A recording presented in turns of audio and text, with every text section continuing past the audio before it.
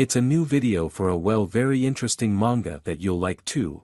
If you like this video, you will give it a like and comment and I will release the next part especially for you. This video is a compilation of four previously published parts, plus a fifth part at the end that has not been published separately. Chapter 1 Two buddies were walking out of the Donggang High School building, one stubbier and with glasses, and the other taller, sturdy build, and they were discussing the recent exam, and how they were bored sitting through the rest of the class, quickly finishing their assignments. Suddenly, there was excitement and cheering in the crowd of students who were also walking after class. A convoy of military vehicles was rushing down the road, but inside the open truck sat not soldiers, but teenagers in tuxedos. The guy with the glasses told his friend to pay attention to the logos A School of Heroes. It all started suddenly, no foreshadowing. According to scientific facts that came to light later, there was an Earth-like planet in stellar space. But because of the catastrophe, that world was blown to pieces. The debris flew to us and changed the usual laws of our world beyond recognition, the phenomenon was called fusion. Thus, about 17% of the Earth's territory was under the control of ruthless monsters, which appeared as a result of the merger. The areas they inhabit have come to be called dungeons. To fight the uninvited guests, even outstanding human forces were not enough, but, fortunately, a solution was found. Not only did the invasion of the monsters bring cataclysms, but the innate limitations and capacity restrictions inherent in humans were removed. While this affected all Earthlings, everyone had their own abilities, and those who stood out the most, through training and hardening, were able to fully master and utilize their power. They organized an elite force to regain control of the dungeon zones, and began calling themselves Hunters. The entire world shuddered at their accomplishments and power. Even before the end of the first generation, schools were founded to educate future hunters. However, the best of them was considered the educational institution that had been producing successful defenders for 20 years, the Hero High School, known throughout the world. The crowd cheered again, because this time the schoolgirls noticed in one of the trucks a beautiful young man with snow-white skin and pointed back ears. When they asked their friend who he was, the glasses-wearing student was surprised because he was one of the most famous students of the Hero School, Chai Dio. His father was the best hunter, his mother is an elf, and they say that he is a genius, he is predicted to become a glorious warrior after graduation. However, what he heard did not impress the guy he thought that the fans of this half-elf were just crazy. The bespectacled boy turned to another student, Jang Ryong, who was standing in front of him and asked him if he would go to the party that Liun Jin had organized. The classmate, citing his part-time job refused. Another teenager poked Ryong in the back, telling him to hang back. Jang Ryong said goodbye and walked away. He received a receipt on his phone from the hospital for unpaid treatment for May and June. Then another message from an unknown caller saying that an order had arrived. Seeing the young man, the half-elf felt something strange, but thought it was just a hunch. Chang Ryong went down to the ruined subway station where he was met by a guy named Im Jae Hwan and told to say hello to the customer. Standing next to the young man was a short bald man in a business suit and some big guy, apparently a bodyguard.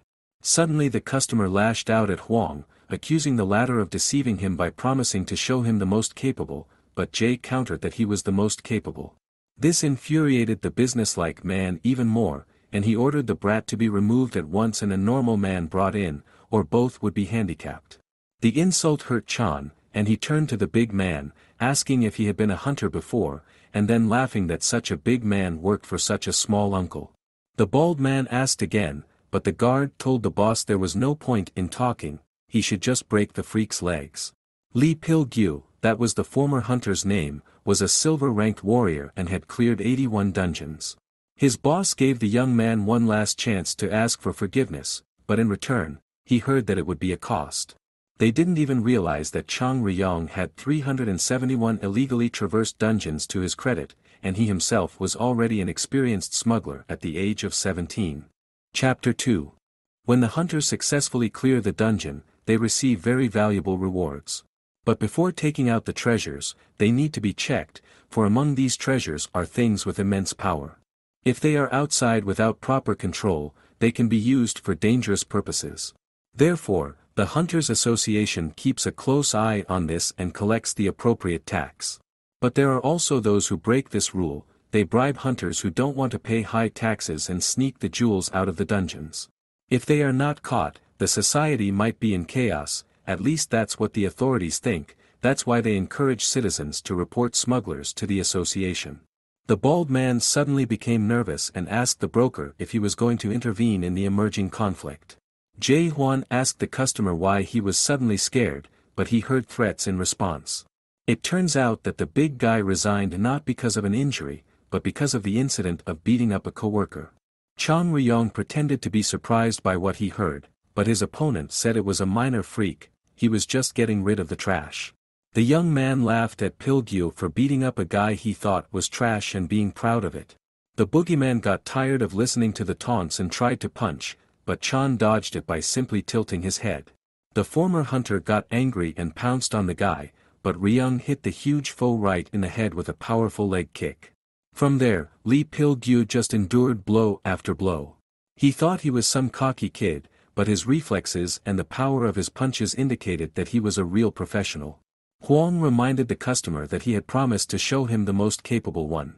What he saw amazed the man sure, it was obvious that the teenager was a good fighter, but to knock Gyu off balance with a single blow was amazing. Jay smiled, assuming that his interlocutor's bodyguard used to be a tank. The bulging eyes made it clear that the young man was not mistaken.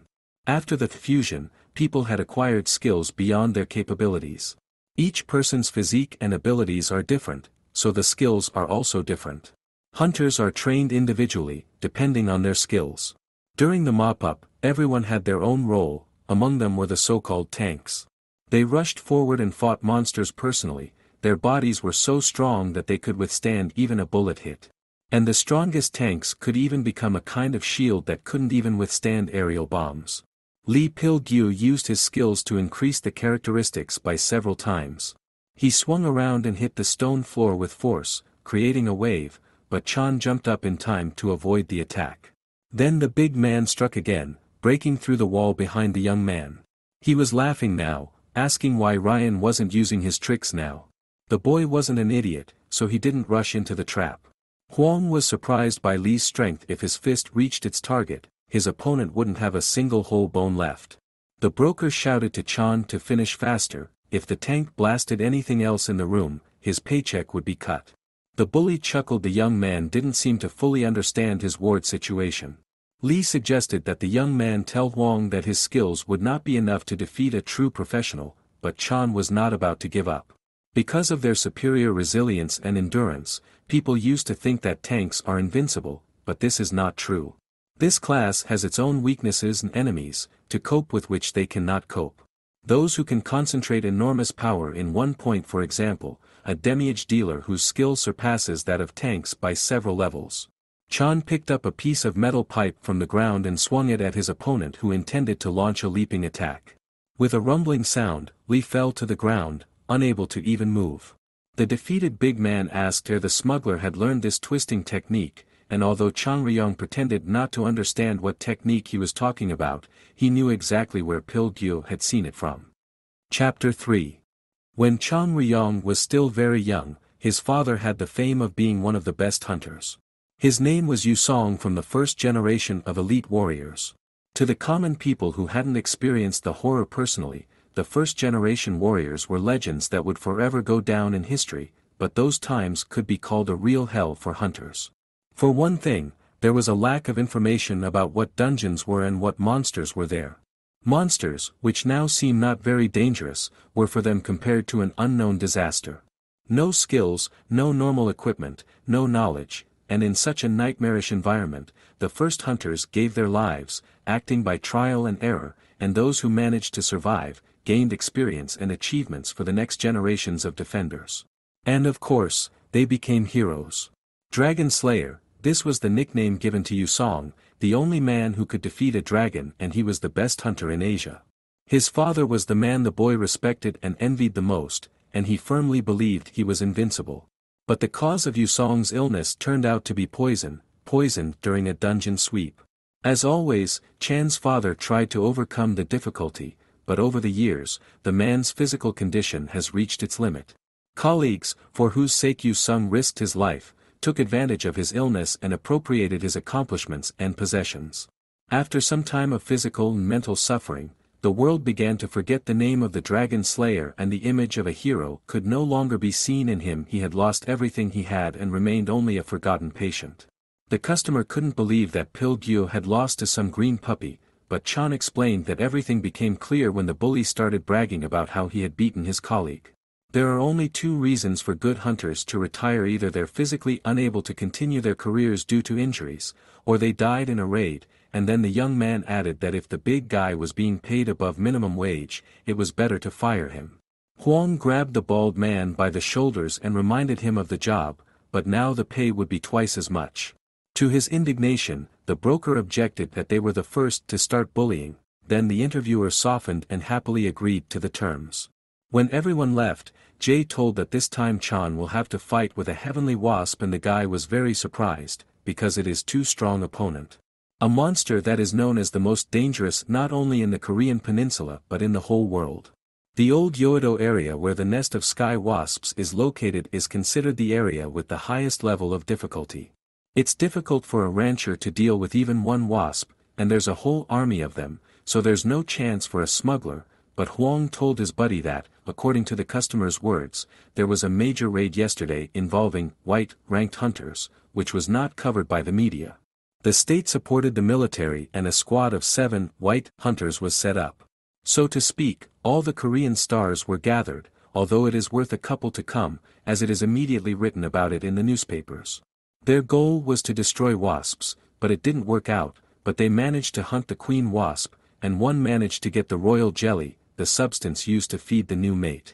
Chang Ren was surprised that a hunter of white rank decided to become a smuggler because of some nutrient. But Huang told of one man who had escaped death and come back to life by eating some royal jelly. Chapter 4 The official stance of the Hunters Association and the government was that all the nooks and crannies leading to the dungeons should be carefully guarded, but in reality, of course, that wasn't the case smugglers could always find a loophole. Jae-hwan opened the passage and wished his buddy to take care of himself, but Chan was clearly worried about something. The broker realized that he couldn't get the words about the miracle jelly out of his head. The young man realized that rumors of the life-giving properties of the substance were likely exaggerated, but if there was something that could heal his father, he would never lose the thread of hope. The young man said that one of the smuggler's men had delivered the goods to the rendezvous point, but there his tracks break off and it's unlikely he kept the goods for himself, he was likely injured or in a mess, and Chan's job is to survey the scene and retrieve the goods if they're there. As the conversation about the life-giving properties of jelly continued, Huang advised his men to keep his head down and focus on the job at hand. After the fusion, many different dungeons appeared all over the earth. The biggest ones in Korea were Jeju Island and part of the Yoido neighborhood in Seoul. The first area is where Jeju-do Island merged with the Hot Rock. The second area was a huge dungeon centered around Yoido itself and several surrounding areas, Mapo, Yongsan, and Yangdingdanpo and many glorious hunters had parted with their lives trying to clear it, but to no avail. Securing the rope, Chan began to climb down. He realized that the royal jelly was a very valuable item that more than just humans would hunt for. The delicious aroma that permeated the entire forest would surely attract a bunch of monsters. To confirm the speculation, Ryung saw a huge paw print on the ground. Jean Sae Ram, a freshman at the High School of Heroes, was in the worst situation of her life because she thought that her second semester exams would be no big deal and the assignment was quite simple collect as many coins as possible hidden in every corner of the dungeon, which, by the way, was not of the highest level. The monsters in it were weak, so it seemed to her that everything would end quickly, but suddenly it appeared, the monster nicknamed Titanium Ape was at least 10 meters in height, and four arms and ugly face that looked like a skull covered with skin, instilled genuine horror. Although the chances of success were slim, the girl decided to fight, but the arrows she used to wound the monster did not hurt it. It doesn't even need to dodge or block attacks, as its hide is stronger than the armored vehicle's defense, but she had a trump card up her sleeve. Jean Se-ram's class is Archer Mage and she can apply magic to the tips of her arrows. Right now, she decided to choose Fire Bombardment, a suitable attack for such a strong monster, as long as you hit the target accurately. When the fire had dissipated a bit, Chin saw the monkey sitting in a tree. Trying to resist only made the monster more angry, so it jumped down and chased after the archer. But suddenly, the monster fell. Chang Ryong landed gracefully on the ground, holding a metal battle pole, seemingly solving the problem with the titan monkey. Chapter 5 Chan examined the fallen monster and concluded that the blow had struck its chin, but it was not enough the ape began to rise to its feet. The young man grabbed some kind of pistol-like instrument from his holster and ran to meet the monster. When he got close enough, he shouted to the girl to bury her eyes and activated the device. A bright flash of light was accompanied by a loud sound, a stun torch. The item was made from the scales of a deep-sea fish, and it's amazing, what can't be said for the price, disarming function had once won the love of many hunters. However, unskillful use has caused many to lose their eyesight, so making and possessing a torch is considered illegal. Ryong often compared smugglers to cockroaches if you climb everywhere, you'll get swatted one day, so he tried not to help or fight the hunters, and his main tactic he used this time too was to flee. Chin was surprised that the young man who was ahead suddenly disappeared somewhere. But the fugitive himself interrupted her thoughts and jumped on the pursuer from a tree and pressed her to the ground, asking her why she was running after him. The girl said she just wanted to thank her mentor, but Chan didn't believe her. Then she said she knew who the guy was, so she wanted to hire him for money. Ryung didn't want to listen and then Jean Se told her about the 50 million won reward for denouncing the smuggler, and the 450 million won reward for the prisoner. Even if she caught five of them, it wouldn't be enough money for this thing and showed and kills blood medallion, but the archer promised that it was just an advance payment and if the young man helped pass the exam, he would get even more. Suddenly, they heard a stomping sound and turned around to see a monkey coming at them at a great speed, glaring with bloodshot eyes. A huge shock wave threw the boys into the air. In flight, Chang threw his pole to the new acquaintance and ordered to repeat the trick with the explosion, only instead of arrows to use his weapon. Chin Sae was in a panic she had only a quarter of magic left, with such a reserve such a huge monster cannot hurt. The boy asked to solve this problem quickly he couldn't last long with his bare hands. The girl threw him a charged pole and decided to run away while the monster was distracted. Chan was disappointed, but he knew something, the thing they always tell the students of the High School of Heroes in battle, strength is not as important as the right timing and the feeling to hit the target accurately. In other words, the senses and abilities inherent in every professional hunter. In confirmation of these words, the young man struck exactly at the junction of the titan monkey's head and neck. The blow was so powerful that the monster was left with a fiery mark from the pole. Chapter 6 since she was a child, Jean Sae Ram could get anything she wanted. The president of South Korea's largest company, the Chinsun Group, married a member of the elf race, and as a result of this marriage, they had a half-elf daughter. Chin was eager to become a hunter, but the elves' excessive demands and arrogance prevented her from realizing her dream. The instructor did not see potential in her, as she was not a pure-blooded representative of the magical race. The calculation was only for average performance, which for a human would be a real praise. The teacher did not see any ability in her and advised her to abandon the idea, because skills do not fall from the sky, and it was impossible to buy them with money or influence. Chang Ren was horrified to find that his glasses had shattered in the collision with the monster. Huang had warned that such an item couldn't be bought in a store there were five kinds of spells cast on them, including facial recognition interference and voice alteration. Jean Sae watched her savior's nonchalance in amazement and couldn't believe that her peer could do such a thing. Coming to her senses, the girl asked if he was a student at their hero high school. The young man called the assumption nonsense and demanded the promised payment. Chin held out the locket to him. She then said that the tuition fees for institutions that train future hunters were high, so she would be happy to help, but Chin objected that he did not attend such places. The elfess lost her temper she could not believe that a self-taught student could master such techniques, master the sense of time and speed. Then he threw Donggang High School's student ID card in her face. This calmed Jean down, but the guy demanded her ticket in return. After studying the document, he put it in his pocket, and responded to her indignation by saying that she should get everything she was promised before she changed her mind. Chan then pulled out his phone and took selfies with his new acquaintance. He did it for assurance, because accomplice smugglers get the same punishment, and the photo would serve as excellent proof. At that moment, Jean Sairam realized that she was dealing with someone more dangerous than she had imagined, but it was too late. Chapter 7 Chang Ryong opened the calculator and began to calculate.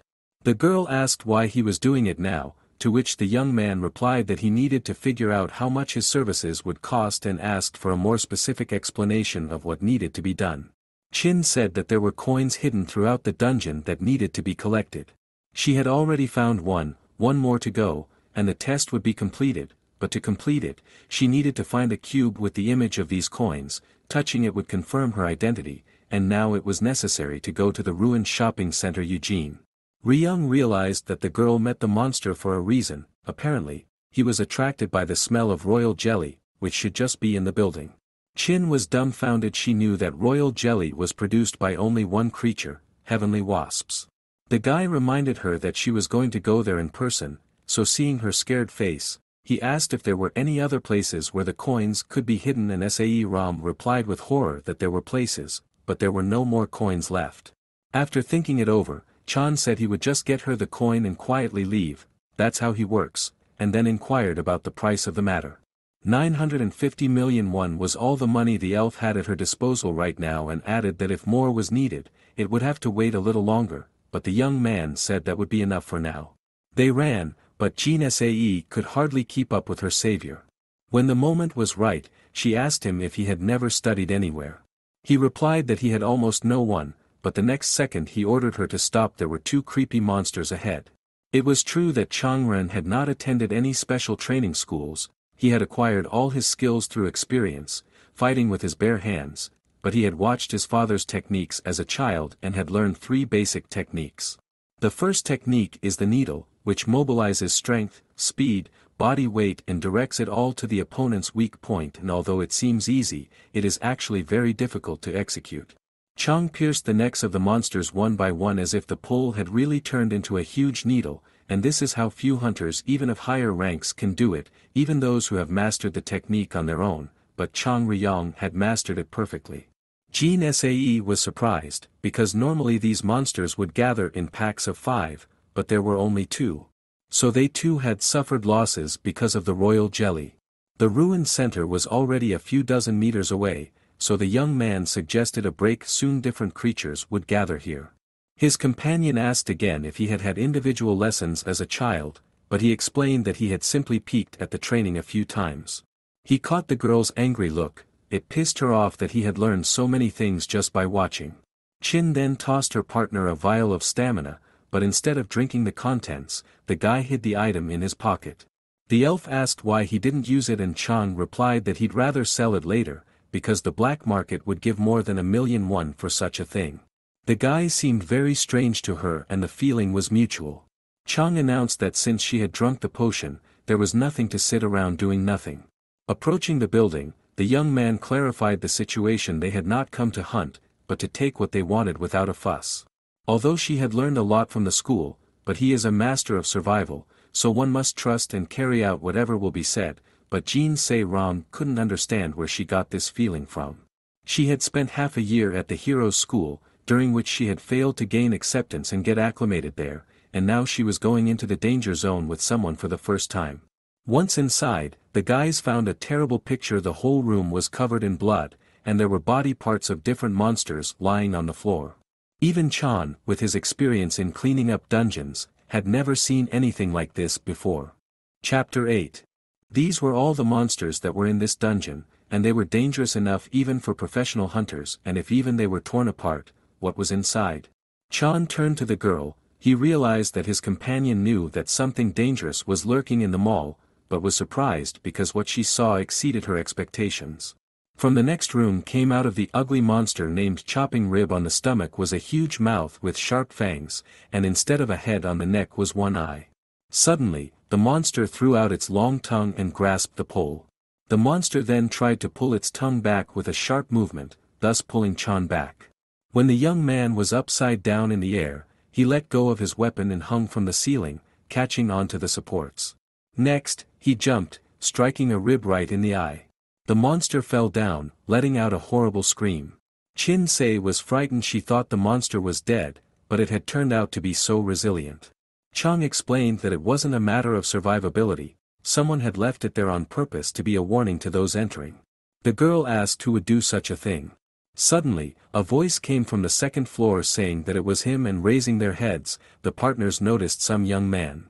He went on to say that he was tired of waiting for them, so he left a rib to see when someone would come. Chan turned to the elven woman, asking if she knew the young man, but she replied in the negative. The next moment the young man was already standing in front of the boys. He said that he regretted that they would die in such a place and it became obvious that this was not just a hunter, but a villain who wanted to kill Chan to get his hands on the royal jelly. The bandit didn't deny it he happened to know that his colleague had taken something valuable out of the dungeon and he wanted to attack Chan on the way back, but things didn't go according to plan, but then the bandit found this building and there was definitely something valuable to hide here. Chang Ren realized that the communicator wasn't missing because of his injury and now he would have to kill the man. But he didn't even need to fight the enemy to realize that he was facing a real hunter of the highest ranks, much different from the rabble he had met before. The smuggler ordered Jean Say to find the coin as quickly as possible and leave while he distracted the enemy. The elfess was scared for her new friend, but he said her presence wouldn't change anything and shouted to run away. Meanwhile, the bandit had already prepared for battle and launched a katana attack, but Chan blocked the blow with his pole. Another series of clashes failed to result in success. At the right moment, Chan knocked the sword out of his opponent's hands and pinned him to the floor. The fighter was surprised he admitted that he had underestimated the guy because of his age. It would take some sweat to destroy the girl as well, but it shouldn't take long. A figure dressed in a black suit appeared in front of Chan, a golden-ranked hunter, Yang Du Kyung, who had decided to use the equipment. Chapter 9 Huang made himself a cup of noodles. He was still looking at the big man Pil Gyu, who was still unconscious. Jay had said that he had lost not because he was stupid, but because he deserved to lose, but then concluded that Gyu was a little dumb after all. Hunters aren't trained to fight each other, the bulky man might have been able to handle the monster, but there was no surprise in losing to the smuggler. The customer wondered if hunters outright never fight among themselves. Huang explained that it certainly happens, and the higher their rank, the further it goes. After all, anything could happen in a dungeon, so a simple display of greed could be written off as a sudden attack by a strong monster. Considering that no alibi was needed, many higher-ranked hunters practiced in anticipation of a battle with a comrade. But this tank's level wasn't strong enough and if he was caught beating up a colleague, it happened outside the dungeon, probably a simple skirmish over equipment. The customer interjected, but Huang replied that there was nothing strange about that assumption, the equipment that hunters use to fight monsters. If this guy had it, he could still wrestle. The man asked if this very equipment was so important. Jay replied that it certainly was. Chang Ren was also aware of the fact that the equipment greatly increased the hunter's chances, but he couldn't understand why his opponent was able to stay on his feet when he had hit the target. Apparently, his defense was too strong. With one hand, Yang Du grabbed the pole, and with a kick, he sent Chan flying several meters away. The opponent laughed and said to show everything the kid could do. But it was impossible, because Yang's shadow jacket, at the expense of the user's blood, provided support for physical strength, and also formed a cover to protect him from blows. These were the basics of the berserker style that Du used. It couldn't be that he didn't have any weaknesses, however, if Chan was inept at responding to his opponent's attacks, he would perish. Gathering his strength, the young man ran at his enemy, but a sword strike to his stomach made him stop. Then he took off his jacket and complained that it was his favorite. The wound was not deep, so with a smile on his face, the guy stood up and turned to Yang Du, said that the hunter only relies on the equipment, so he was a little confused, but it is forgivable, after all, he is a schoolboy who came without anything. If he had such armor, the situation would have been different. Chang Ren knew that his enemy was in a hurry, because in addition to killing the young man himself, he also had to catch up with an important witness like Jean Sae Ram. He's stalling for time, and Yang Dukyung is in an increasing hurry. The second technique he learned from watching his father was rippling. Chan was aware of his opponent's strength and knew that his strength would not be enough to pull off such a powerful strike alone, but now that his life was in danger, one had to act decisively. The guy swung the pole and a powerful blast of energy rushed out. Yang Du-kyung's defense was broken through, however, he continued to advance even though he was damaged and the smuggler didn't think he would meet a professional hunter who would act so recklessly. The guy advised his opponent to surrender as there was no point in continuing the fight. However, Yang Du wasn't going to comply, he stuck a dagger into his stomach and said that no matter how this ended, he would definitely destroy Chang Ryong. Chapter 10 Meanwhile, Jin Se Ram was already on the fifth floor of the mall. The identification cube had confirmed her identity and the test had been passed. However, the disturbing thoughts and words that Changren had said to her did not leave her head. The girl believed that he wouldn't have gotten into a fight without having an escape plan, but she couldn't just leave like that.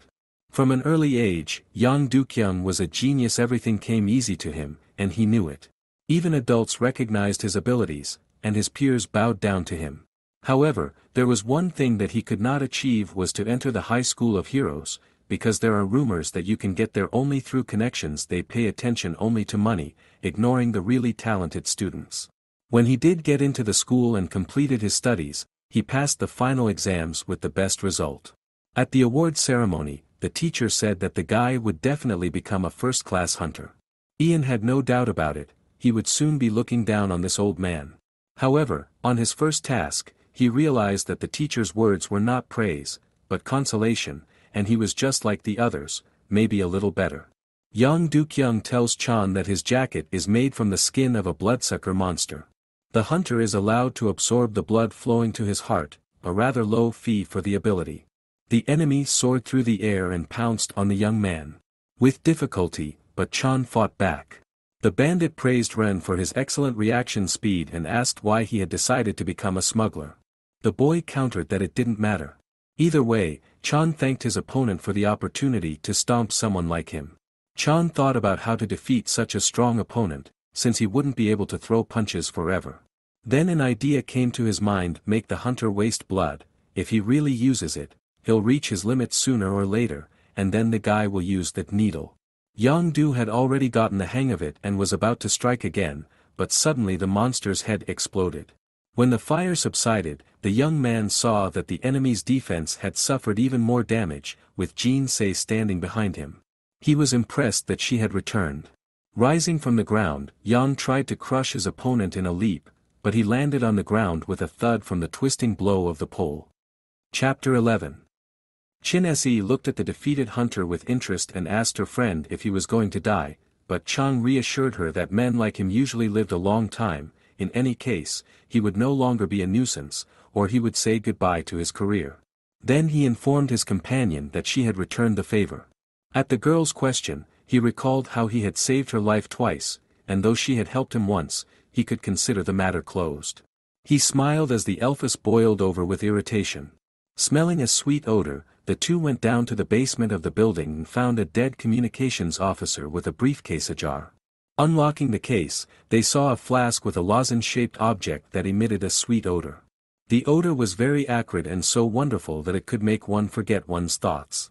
Recovering, Chan slammed the lid shut and said he had to leave before more monsters came. Returning to the first floor, the friends didn't find Jan on the floor, but he soon showed up himself, shouting that he had memorized their faces and would surely get his revenge. Going out through the main exit, the hunter saw right in front of him a giant titan monkey, which already aimed at the victim. Chan suggested that his companion use the alternate exit.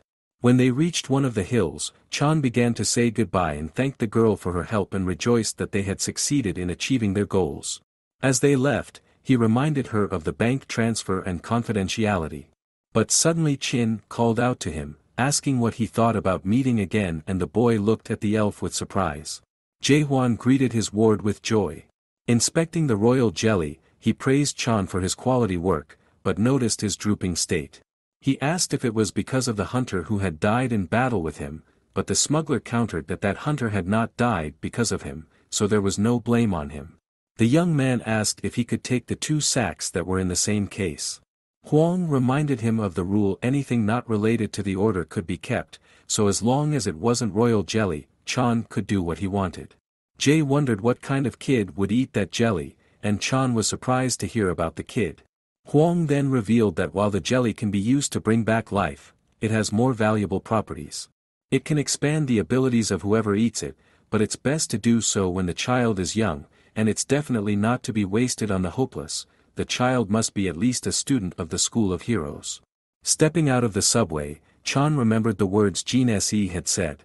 The girl had said that they would meet again soon, because every year the Hero School held an entrance exam for all comers, and the boy had a good chance of passing the exams, even though it accepted a maximum of two applicants. Chin suggested that he join her at the Hero High School. Chapter 12 A hunter can't mop up dungeons alone. No matter what talents he possesses, it is almost impossible to cope with the constant waves of monsters alone.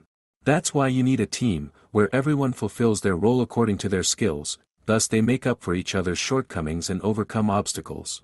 This is what dungeon mopping is all about. Chin continued to explain that every year in the School of Heroes create factions. Chan didn't understand he thought it was when you pick a side and fight the other, but the Elfess countered that they wouldn't do such childish nonsense there. There are two factions in her school, led by students who are in the top three. Now Chang understood why Jean Sae was taking the test alone the teams were recruited from members of the factions, and she was not a member of more than one. The young man asked if the teachers didn't say anything, but the Elfess said nothing at all. She explained that finding a team depended on the student's abilities.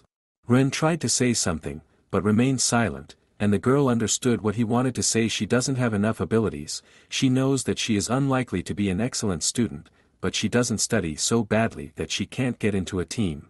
However, teams are also made by students who are not in any of the factions. As she said earlier, they are run by two of the best students and the leader of the first one dislikes her, though she doesn't show it outwardly, he just weaves intrigues and does everything to keep Chin away from the teams. She's hanging in there now, but she won't be able to stand on her own in her senior year. That's why she wants to hire Chan if he's only there for her, then maybe SAE Ram can handle the whole ordeal. They approached the dungeon barrier. The guy went his own way, saying goodbye to his companion. Though she was sure he wouldn't call, there was some strange feeling inside. When Chang had gone far enough away, the elf girl was called out by some man with a scar on his face and a prosthetic instead of his right arm, it was teacher Kong Jong-guk, a close combat instructor. She was surprised to see the teacher, as the exam time had not yet come. The man explained that there was a problem some monsters were in areas they shouldn't have been in, the place where Jean Sae picked up the last coin was one of those areas. That was the reason why the instructor was here, asking if everything had gone well. The Elfess lied that everything had gone fine, and she hadn't seen anything out of the ordinary. Khan accepted the answer understandingly. And then with the same nonchalance he ordered his apprentice to stand behind him behind her back stood another titan monkey, only a little bigger. The man was surprised, for normally, these creatures wouldn't come in here. Jean Say realized that she was attracted by the smell of royal jelly, but she didn't dare to report it to the teacher. All the teachers of the hero school were hunters in the past, and most of them had graduated from this school, but due to their injuries, they could no longer sweep the dungeons and retired, at least that was what the others thought. Kong Jiangguk toppled the giant ape to the ground with a powerful jumping kick. Its head was charred and smoking from his ability. As a result of the attack, the instructor's iron arm melted. Tyranny Fighter, this was his nickname when he was not even 30 yet, being a ranker he didn't care about other people's opinion because he was a hero himself and trained the future ones. Soon both of them reached the training camp of the School of Heroes, where two students, apparently a mage and a tank, were discussing what would happen to those who signaled for help. The one sitting on the ground said they would probably be retaken. The tank said that such weaklings didn't belong here, and when he saw Jean say, he said that one of them was coming. Jongguk told everyone to wait and when the others returned, to double-check that everyone was in place and change into their school uniforms. The beautiful white-haired elven girl surrounded by other students, seeing Jean Se unharmed, pretended to be pleased. But the archer didn't believe the girl's sincerity, to which the latter objected that these words were even hurtful. Chapter 13 Six years ago, when Jean Sae was only 11 years old, she was learning the art of magic with an instructor who was also her uncle, Zeke Each lesson was given to the girl with great difficulty each time creating a fireball was accompanied by a hellish pain in her hand. But in parallel with her was a white-haired elf girl named Anisha. Her teachers marveled at her abilities. Every spell was easy for her, and although she was also a half-blood, Zeke believed her abilities were greater than some of the purebloods of their race. It was understood that the cousins would be compared, but Zeke warned them to be careful if they backed down, Anisha might crush their opponent. At the training camp, the white-haired elf pretended to be surprised that no one wanted her cousin to join the team, because she was capable enough to do so. Chin offered her to join her team, but Anisha refused, citing the need for two fighters of the same class in the same position. The white-haired girl calmed her opponent by saying that she would be retaking the exam soon, but Sae Ram asked with a smile why she needed to retake the exam, since she had already passed it. Anisha pretended to be happy for her cousin and praised her for her efforts. However, as she left, she advised her not to overdo it, she would inherit her father's company anyway. This made Jean Sae very angry. Chang Ren ran into the room at the university hospital. The doctor asked if he was a relative, to which the young man shouted and asked what had happened. The doctor started from afar this patient has a very rare case, one could even say, the only one in the world, and so far no one has survived dragon poisoning. The disease is still incurable, but painkillers can be used to suppress the symptoms. The only problem is the composition of these painkillers, that the milk that the very dangerous monsters feed their cubs is the only antidote. Chan said that if it's about money, it's not a problem, but the doctor countered that it's not about money. In the past the milk of the celestial tiger could be obtained in large quantities, as it was not used anywhere, but now the situation had changed, because there was a potion on the market that increased the strength of the one who took it, and the main ingredient of the preparation was the much desired milk. Chan wondered if it was impossible to get a single dose for a dying patient. The doctor explained that from one dose needed for the young man's father, ten ampoules of the potion could be made, so the businessmen would never part with even a drop of the substance. The doctor promised to try to do something, but without connections there was nothing to count on. Going outside, the guy was distraught, and although he didn't really want to, his hands dialed Jean Say Ram's number by themselves. The girl was at the gym working out, but when she saw the caller, she abandoned the exercise and grabbed the phone. Ren said that he agreed to the offer to join the hero's school. The elven girl realized he had some sort of condition. Chan told her about the situation, to which Sae replied that there was no problem her father's company also made the potion, and the dose her friend was asking for wasn't that big. The young man exhaled as if he had dropped a huge stone from his shoulders. The Elfess then asked if he had time on Sunday to study for his exams and Chan agreed that it wouldn't hurt to prepare. The friends met outside the Chinsen Group Defense Research Institute. Chan asked what they would be doing here, to which the girl replied that they would be measuring abilities here. After the fusion, many people's abilities increased, something that before the incident, the average person's characteristics corresponded to rank D, not counting magic. By the time they got to C, they were considered a genius. An A-B skill was considered superhuman. A hunter could only become a hunter if five of his characteristics were C-ranked. And the hero school accepts heroes with three Bs. Chang Ren thought it was a simple physical exam, but the Elfess countered that it was a child's procedure, and as a teenager it was a bit more complicated. The boy asked how much more complicated, but he saw for himself, finding himself in the arena, dressed in a special suit. In front of him stood a large robot. Since he was here, he would fight properly, in fact, he had long been curious about what it could do. Chapter 14 Chang took up a fighting stance, preparing for battle. Chin Sei and the former hunter who was now working at the research center, Chung Yeomin, were watching him on the cameras. The latter noted the young man's determination, as many people are lost when they first see a golem. The Elfess laughed awkwardly. Yeo Ming announced that it was time to begin and activated the robot. A normal performance measurement is usually taken at 6 or 7 years old, but for detailed measurements, special devices are worn that stimulate the body, pushing it to the limit in various areas. The more unique the abilities and training level of the test subject, the more difficult it is to get the results, because it is hard to stimulate them to the limit. Yeo Min called out to her buddy, asking her to answer one question. She recalled a story about a guy failing to get into a specialized school, so she asked how could he fail with such abilities. Chang stood in the middle of the room, and his mechanical opponent lay at the other end, fuming. Chan concluded that, even given the reduced difficulty level, the young man's professional training was immediately apparent. First, he dodged a few times. And then waited for the right moment to strike. And it was striking that he was better than any professional in terms of senses. Chin Se asked about the measurements, but she didn't get a clear answer the test subject's limit hadn't been raised yet. Increasing the difficulty would not bring results, so the Alpha suggested removing the safe mode and running the robot at full power. Chan warned her friend that it was against the law to remove the safe mode for a person who was not a professional hunter. They both wondered how to test the abilities, but a voice from behind them interrupted them. Chin's uncle, Zeke Esserm, entered the room. He accused the employee of using the lab for his own purposes, for which she would be punished. The elf stood up for her, explaining that she had asked Yeo Min herself, but to no avail. The director of the development department, which was Zeke, objected that as long as the company belonged to her father, the girl had no right to give orders. The rumors about the new boss turned out to be true. Although he was an uncle to Jean Say, he had treated the girl very coldly since childhood. After all, she had done nothing wrong now today was a day off, and besides, the other hunters were also using the room for their own purposes. Their conversation was interrupted by Chan asking about the problems that had arisen. The elf asked her niece who the young man was. Yeo Min navigated faster than the girl, explaining that he was a friend of Jean Se's. He wants to enter the School of Heroes, but he failed the exams last year, so his measurement results were lost.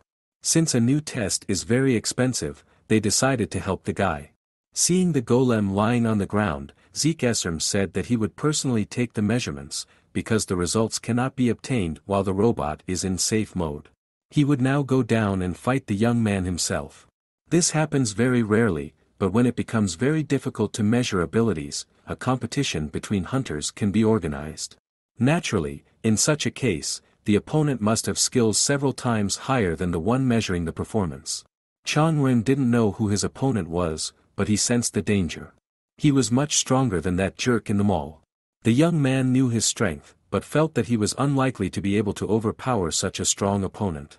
Zeke Esserm was the director of the development department of Chinsun Group, and he was also a white ranked hunter who was ranked 7th in South Korea's rankings, and a warrior's color depended on his position in the ranking table and white was assigned from 1st to 10th place. Taking off his jacket, the elf rolled up his sleeves, stood in a fighting stance, and then ordered to attack and not to worry about his safety. Chapter 15 Chang Ren's technique was simple he threw a strike that he only had to dodge. The hiccup time was used for a striking attack and perhaps it would have worked in a fight with opponents of a slightly higher level, but the elf simply caught the pole. Then with a kick of his foot he sent the young man flying. Zeke wondered did the guy really think such a move would work, or did he just like to receive? Either way, Chan looked pathetic to him. He got to his feet rather quickly, and the elf picked up the pole and threw it to his master, pointing out such a stupid mistake as a lost weapon. Ren felt some resentment from the hunter, but didn't understand what it was about. He rushed forward again. Zeke thought about repeating the previous attack and decided that two times would be enough for the lesson to be learned. But he was impressed by the speed of the young man's movements as he got closer and began to spin the pole. Jean Sei and Yeo Ming, who were watching the fight, were also amazed at how the schoolboy was practically fighting the white hunter on equal footing. It's a wonder he couldn't get in somewhere. And although Zeke's controlling strength, Min noticed one major flaw in Chan. Meanwhile, the elf had already seized the initiative and once again landed several blows on his opponent's body, causing him to fall to the ground. Zeke did not even comment on the young man's defeat it was predetermined from the beginning. Only the process that led to this defeat looked pathetic. Yeo Ming shared her observations with Jean say her friend lacked basic knowledge. His abilities and senses are excellent, but basic skills like attack and defense are lame, it's obvious that there was no initial training. The girl herself was disappointed, with his abilities he could have been much stronger with basic training. As he left, the elf stated that he had seen many guys like Chan, with unique abilities, who didn't put an ounce of effort into developing them. Unexpectedly, the lad rose to his feet, accusing the master of excessive barbs against him. The elf was impressed by the young man's persistence, for he thought he had struck the decisive blow with which he was going to end the fight. Chan suggested that the elf fight again, so that he could show what he was capable of. Chapter 16 The girls in the observation room didn't understand why Chang Ren suddenly decided to continue fighting. The urge to go all the way to the end was good, but they had already gotten all the information they needed, there was no need to fight anymore. Chin Se also tried to dissuade him from continuing the battle, but to no avail. The elf also tried to explain to the young man that it was over the results wouldn't change no matter how much they fought. Zeke then suggested that Chan wanted to gain his recognition, to hear his opponent praise his willpower. But the boy countered that he was just a little angry at the end of the fight, because he hadn't managed to land a single blow. In fact, he had another reason, he had achieved everything on his own without training and basic preparation. By trial and error and fighting monsters in the dungeons. Chan looked with pity at all those people who thought they were hunters, but ran away when they met a really strong monster, or killed their comrades because of equipment. But this elf was different. This was the first time he had met someone other than his father that he could call a true professional warrior. This time Zeke was determined to correct his mistake and stomp his opponent so fast that he didn't even have time to be angry. Chan was ready for another round. Chin Se noticed that he had taken up a stance she hadn't seen before. It was his father's stance at first glance it seemed clumsy to the white hunter, definitely not for pole fighting. However, when Ren began to move, it felt like there was another person in the arena instead of him. Although his movements were clumsy, they were all quick and without a hitch. The elf dodged attacks with ease, but was staggered as he was unable to launch a counter-attack. In an instant, both jumped upwards. The master decided to take a moment while landing, and knocked the young man to the ground. Lying on the ground, Chan laughed although he had lost the battle, it wasn't bad for a self-taught student. The elf told him that he could have won if he'd kept it up, but went back to those stupid pole holds, then asked if he wanted to boost his self-esteem by doing so. The young man replied that no, that he had simply reached his limit all the moves he knew ended there. Zeke Esserm had a bad reputation among hunters because of his nasty temper, but no one dared say anything against it because of his superior skills. A white-ranked Voni, of which there are only ten in the country, and the best healer. Chin Se ran out into the arena, calling out to her uncle, and he leaned over Chan's body and ordered her to be quiet. Then stood up and said that he had healed the young man, so there would be no trace of the fight. From the boy's face, indeed, the bruises and abrasions disappeared. As he left, the elf asked him his name again. The niece said Yu Chongren. Zeke smiled he didn't expect to meet the son of the once great Yusong. Chapter 17 Zeke Esserm stepped out into the parking lot. A pumped-up young man with glasses called out to him from his convertible, jokingly accusing the elf of not giving notice of his delay, now they were sure to be late for the briefing, and everyone already thought it was the man's fault every time. The development director said that one important matter had taken longer than expected. A young man in the car asked if it was about a fight with some kid. But at the same second he froze in surprise, noticing the small scratch on the elf's snow-white face. It was very strange, but Zeke explained that the kid was going to enroll in the School of Heroes. The man concluded that if he was just about to enroll, then the guy didn't even have a passport yet. Something told him that the kid had a good chance, even though in the three years of driver's training at the hero school, no one had ever passed the entrance exams. The elf had said that, although Chan's level was lower than his own, he could match the performance of Kong Gong-ho, the name of the man driving the convertible and the leader of Korea's first NX sweep squad. He chuckled that there was definitely no such thing.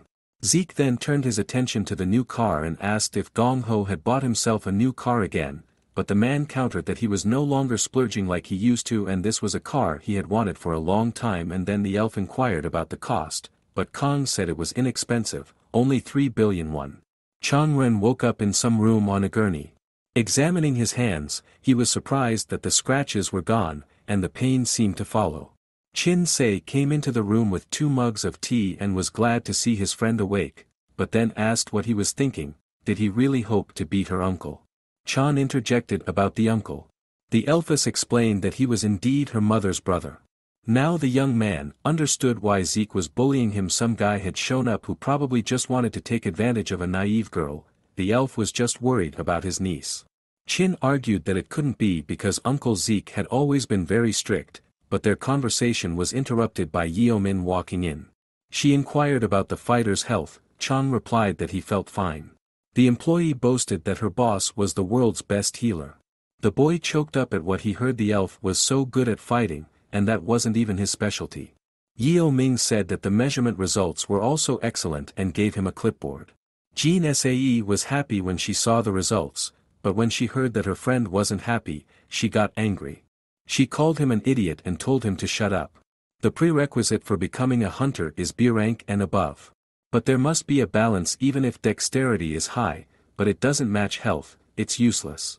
If only muscles are developed, they will not be able to pull the other abilities. Those who have three C ranks at once are 1 in 10,000. Those with 3 B ranks are 1 in 500,000 they can even fight alone or become a top-ranked hunter. Chang Ren had 2 A rank and 1 B rank, spitting on the balance was just crazy ability. Yeo Ming told him that even Zeke didn't have a single A ability out of those three. She explained that the stats reflect innate potential, not current skills. Even if you have all the top-level abilities but don't progress and improve, there would be no difference from D. Other factors are also very important for example, whether the specialty you are mastering suits you. Then, hinting at Jean Say, Min added that there are some hunters who fill in the gaps in their abilities with endless training. Chang Ren was grateful for the explanation, but said that he didn't understand anything about it. It's just that he has an acquaintance whose level he still lacks a lot. The girls inquired who it was, since hunters with such power were rare, and assumed he was a very famous person. The young man embarrassedly confirmed their guess. He and Jean Se had already said goodbye, arranging to meet up next weekend. But Yeo Min stopped her friend and asked if she wanted to stop by the production department, as she hadn't been to the center for a long time. She said that she didn't have any special friends there, and her uncle wouldn't let her go. However, with a smile on her face, the ex-hunter said that Zeke had already given her permission, ordering her to take Chan to the production department when he woke up, and to tell the manager that he was his guest. Chin Se was very surprised and asked when he had said that. When the elf was leaving, he gave this order and said that he should find the guy a suitable weapon, no matter how much it cost. Chapter 18 Every hunter's dream is to have highly effective weapons and armor. Even if they have outstanding abilities, quality equipment provides high support to the wearer. Therefore, as a hunter's level increases, suitable armor is needed to maintain that level. Chang Ren still didn't understand why he needed to buy equipment items, didn't the school give out everything he needed? Jean Say slapped her forehead and explained that this would be the case if it were a regular school, they issued equipment according to the standards so that there would be no discrimination between students. Yeo Ming continued that it's different at the Hero School, where the ability level is taken into account, so each student has to choose their own equipment. Chan suggested that in that case, those who were born into wealthy families were in the most favorable position. The girl didn't deny it, but explained that there was another way to get good equipment. Most high school hero students will become better hunters or ranchers in the future, so there will be those who want to invest in those abilities. If a teenager manages to pass the entrance exams, he starts to receive different offers from businesses and just rich people. And after graduation, such students pay part of their fees or sign a contract, becoming an advertising face. For example, Yeo oh Min herself received a scholarship from the Chinsun Group and even after retirement, she is guaranteed a research position. In short, going to a hero school is a very lucrative thing. However, you have to get in there first. The degree of difficulty of the transfer tests is much higher than the simple entrance exams. Everyone is doing their best to prepare the equipment, and Zeke Esserm himself ordered to give it to Chan. He has already arranged everything, all he has to do is go down to the workshop. Yeo Min then said she had to run, wishing the young man good luck, she sincerely hoped he would enroll. The two friends walked to the elevator and Jean Sae explained that it didn't matter how much money you spent on a weapon, what mattered was who made it. Chinsun Group is one of the best manufacturers, known all over the world. Although, in principle, for that price, everything everywhere else would be of about the same quality. They descended into a huge forge, which, incidentally, was a dungeon not long ago, and was called Boiling Abyss. Suddenly there was a rumble of footsteps behind them, and soon Chan saw a huge monster, but for some reason clothed, and with a mechanical arm. The one-eyed monster complained that Zeke had dared to wake him up over the weekend. The young man prepared to fight, but the elf stopped him, explaining that he was the head of the production department named Arjesh Thunderhammer. Once upon a time, he had even obtained citizenship of the Republic of Korea in a simplified manner. Arjesh laughed at the word manager, to people, he is always a disgusting monster as well. Then he looked at the guests and asked who the elf had warned him about the boy or his niece. SAE Ram replied that they were supposed to send a video with the indicators, but Hammer objected that he didn't know about any video, and, in fact, all this was being handled by the employees who had the day off. The girl was upset, but the supervisor said it wasn't a big deal if Zeke said to help in person, then he could check on the guy himself. Then turned directly to Chan, asking if the main weapon in the pouch behind his back and the young man answered in the affirmative. Then Arjesh stood up and said, try to catch him. Chin asked confusedly what that meant, to which Hammer replied that in their tribe it was a normal procedure. All the more reason he wasn't going to work up a sweat for someone whose abilities he didn't even know about. Then looked the smuggler in the eye and noticed the look in his eyes, he was definitely familiar with hunting. Sae Ram tried to stop her friend, but Chan said it was long past time to remember he wouldn't refuse such offers. He unsheathed his weapon and ran forward, but Thunderhammer didn't even move, so the boy easily put the pole to his throat. Arjesh's face was astonished and he asked excitedly where Chan had gotten the pole.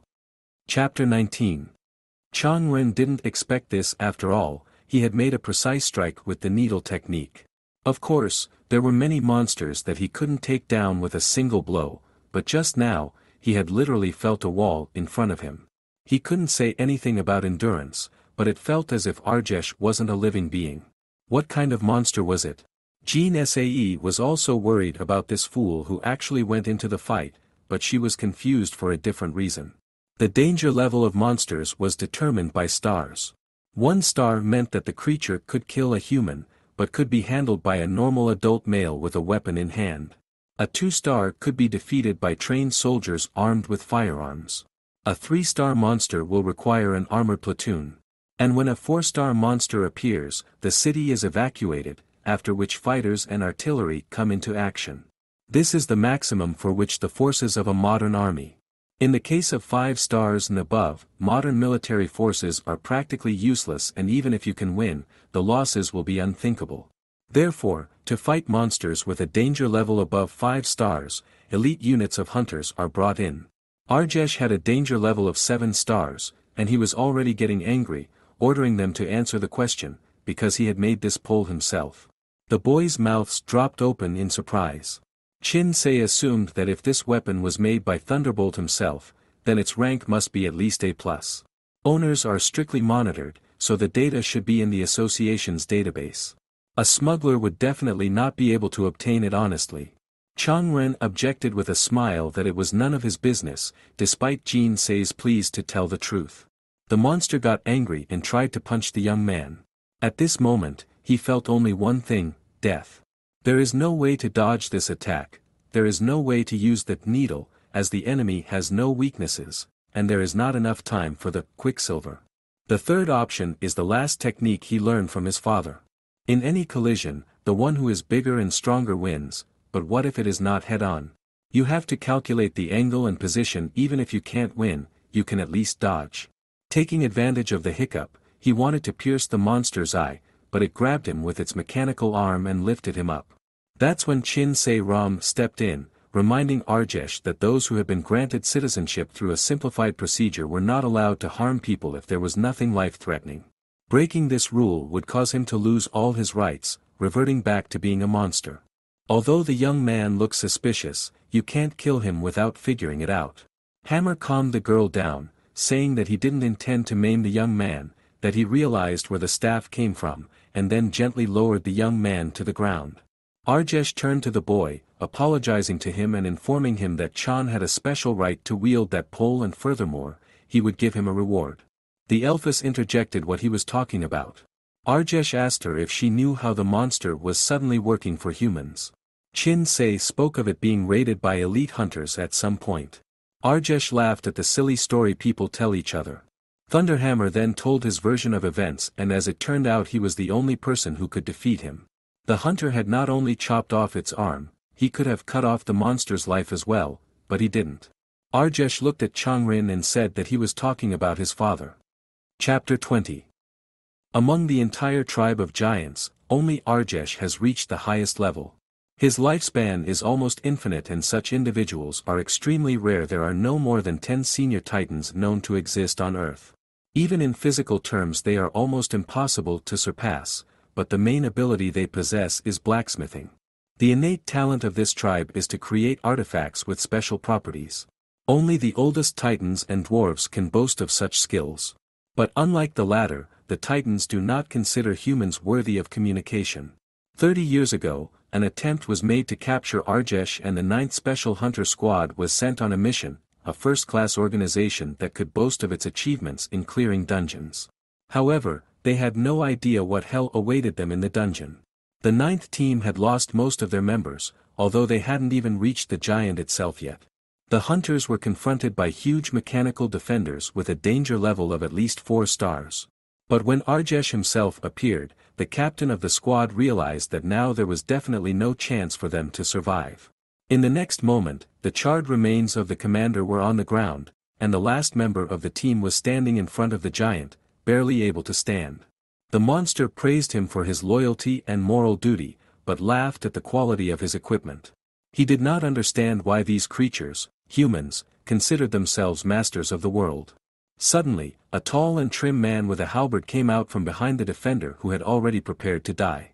Seeing his bare torso, the hunter asked who he was and the guest replied that he was sent by the association when the signal for help was intercepted and accused the team of invading the dungeon without a plan or information. The man was Yu Song, who was only 32 years old at the time. He was not widely known at the time, as he spent more time saving others rather than creating a media image. The mechanical guardian tried to hit the man, but only parted his hand, and then with a powerful jump kick, the robot was incapacitated. With a look of surprise on his face, Arjesh looked at the gifted hunter. From that moment on, it all started, and after the fight with the Elder Titan, Yusong was the talk of the world. Chapter 21 Yusong turned to the frightened member of Team 9, asking if he had any mana left. The bewildered young man replied that he had a little bit, but it was enough for a simple buff. The hunter countered that he wasn't interested in buffs, he needed to know if the mage could lift objects into the air. Two of them were still alive. So you ordered them to get outside immediately, dragging their friends out. The conversation was interrupted by the giant's laughter he was amused that the hunter was making it sound like people had a choice. Sun countered that of course they did, that without his permission Arjesh would not touch a hair on their heads. At that point, ten years had passed since the merger. The released power and increased physical stats had allowed them to reach the level of superhumans, as well as mastering the technique of making equipment from materials mined from the dungeons. This helped them develop their skills quickly. However, weapons were not used very skillfully. The solution was human technology, a completely new combat system that went beyond the usual limits. Back then, only a few hunters thought it was necessary, researched it, and practiced it. One of those was Yusong. Arjesh tried to strike with his giant flaming sword, but the man managed to fight back. Taking advantage of the delay, Song struck the monster's chest with his halberd, causing it to crouch on the ground. He praised his opponent for his outstanding technique, it was the best he had ever seen. The giant said that the fight might even have ended differently if Yu's weapon had been as good as his skill. However, the man was an unknown hunter at the time, so he couldn't afford to acquire the highest ranked equipment. From the previous attack, the axe handle had cracked. But to the one-eyed monster's surprise, Yu Song managed to repel the next blow. This was the technique that his son would look up to in the future, ripples. The man takes on the power and strength of the opponent's attack to use it to lunge back. Sun's physical strength and experience was on a completely different level compared to other hunters. Only a true hero could fight like this. After Chang Ren's father used this technique on Arjesh and cut off his arm, the monster inside him died and the life belonged to the victor. Although Song could have taken it back, he didn't do so. The raid that failed the 9th Special Unit was considered a victory. The whole world shook as they learned how a group of hunters had defeated a monster with seven danger stars. Arjesh sought asylum and soon received citizenship and a registration card. Although there were no fatalities during the sweep, only seriously injured, he still had to serve his sentence by working at the forge. He personally made Song's pull despite the fact that he hadn't even asked for it. Jean Sae Ram was shocked she had never thought that the news of the special team capturing the most dangerous monster would turn out to be a lie. Thunderhammer explained that this pole was just a hilt. He wanted to forge a powerful halberd, but Yusong never brought the materials for the blade. Soon communication with him had broken off, and he couldn't visit his new friend himself, so he had only sent a portion. Now Chan understood why his father had been reluctant to give the weapon to the creditors. The Elfess looked at the young man in surprise upon hearing these words. Arjesh asked the lad to give him the pole to finish the job. Now he would make the weapon not for Yusung, but for his son. Chapter 22 Looking at his former creation, Arjesh concluded that he did not know how long the work would take, but he would try to complete it as quickly as possible. However, he shouldn't rush the blacksmith the masterpiece should reach perfection on its own. On the way out of the elevator, Jean Sae awkwardly asked her friend how he was feeling. Chan said it was bearable, despite the grip of a huge metal hand. The elfess then inquired if the young man was free on Wednesday. If so, he could study for a written exam and take a practice test at the same time and the lad agreed. Sae Ram said that his father seemed to be an outstanding hunter, she had never thought that that raid had been accomplished thanks to one man. The girl gently asked what was wrong with him now and reminded him that Yusong was undergoing heavy treatment. Changren's face drooped slightly as he heard this and said he had to go, asking for a ride he wanted to walk and think about life. On the way, the elven woman read an article about that very case, reclining in the luxurious leather seats of her limousine. If Arjesh was telling the truth, then those five legendary hunters of the special unit had taken credit for Yusong's actions, and the giant had no reason to lie. Considering that what happened in the dungeons remained the same, there could have been dozens of similar cases. Because most of the achievements were written into history under pressure and threats, Yusong had become known as a false dragon slayer. But Jean Sae assumed that everything must have come out when he got injured and went to the hospital. To prove her point, she came across an article that questioned the words of the five hunters and called Yu Song the real hero. Suddenly, she received a message on her phone with a report card for her sophomore midterm exams. In the teacher's room of the Heroes High School, a girl named Jo Se Ah apologized to Kong Jong Guk that he can't even have a normal weekend because of her. The man calmed her down by saying that he couldn't refuse to help her and that he was going to check the grades of the freshmen.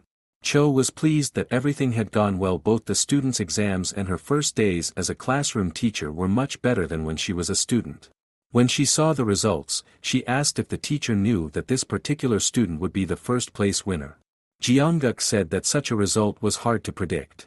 Opening the tab, Jean Sae couldn't believe her eyes, there were currently three students in the first year who were considered geniuses, unexpectedly, all three were of mixed blood. The first one, Choi Dia, has impeccable swordsmanship skills inherited from his father, a white, ranked hunter, as well as magical powers inherited from his elf mother. The second, Anisha Esserm, has a level of skills that even a pureblood elf would envy, and in the future she will probably become one of the best warriors. And the third one is a healthy Tyr Belkason, a child, who was the result of the union of a human and a dwarf. He had inherited strength and stamina from the latter, and flexibility and agility from humans, and was now a rising star with the best physique not only in the hero school, but also in the world, and a student who had won first place in the exam.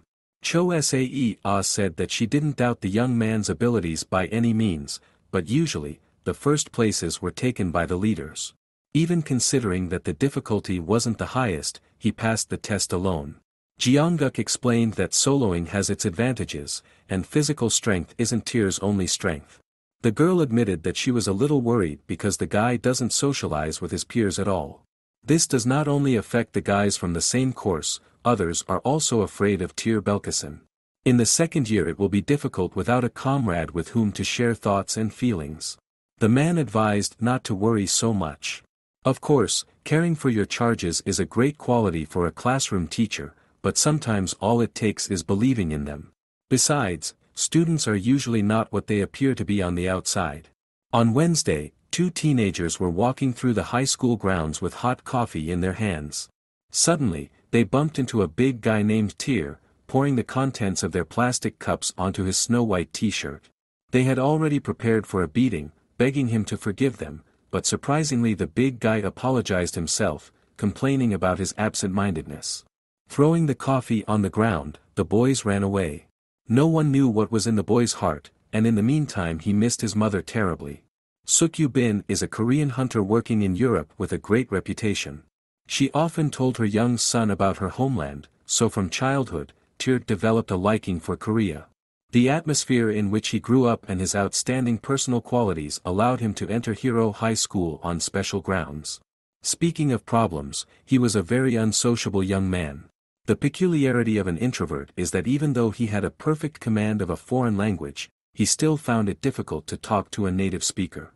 He was afraid that his peers would laugh at his accent. It was past his first semester, and he had developed an image of a majestic lone wolf. Tyr's only hobby was walking alone.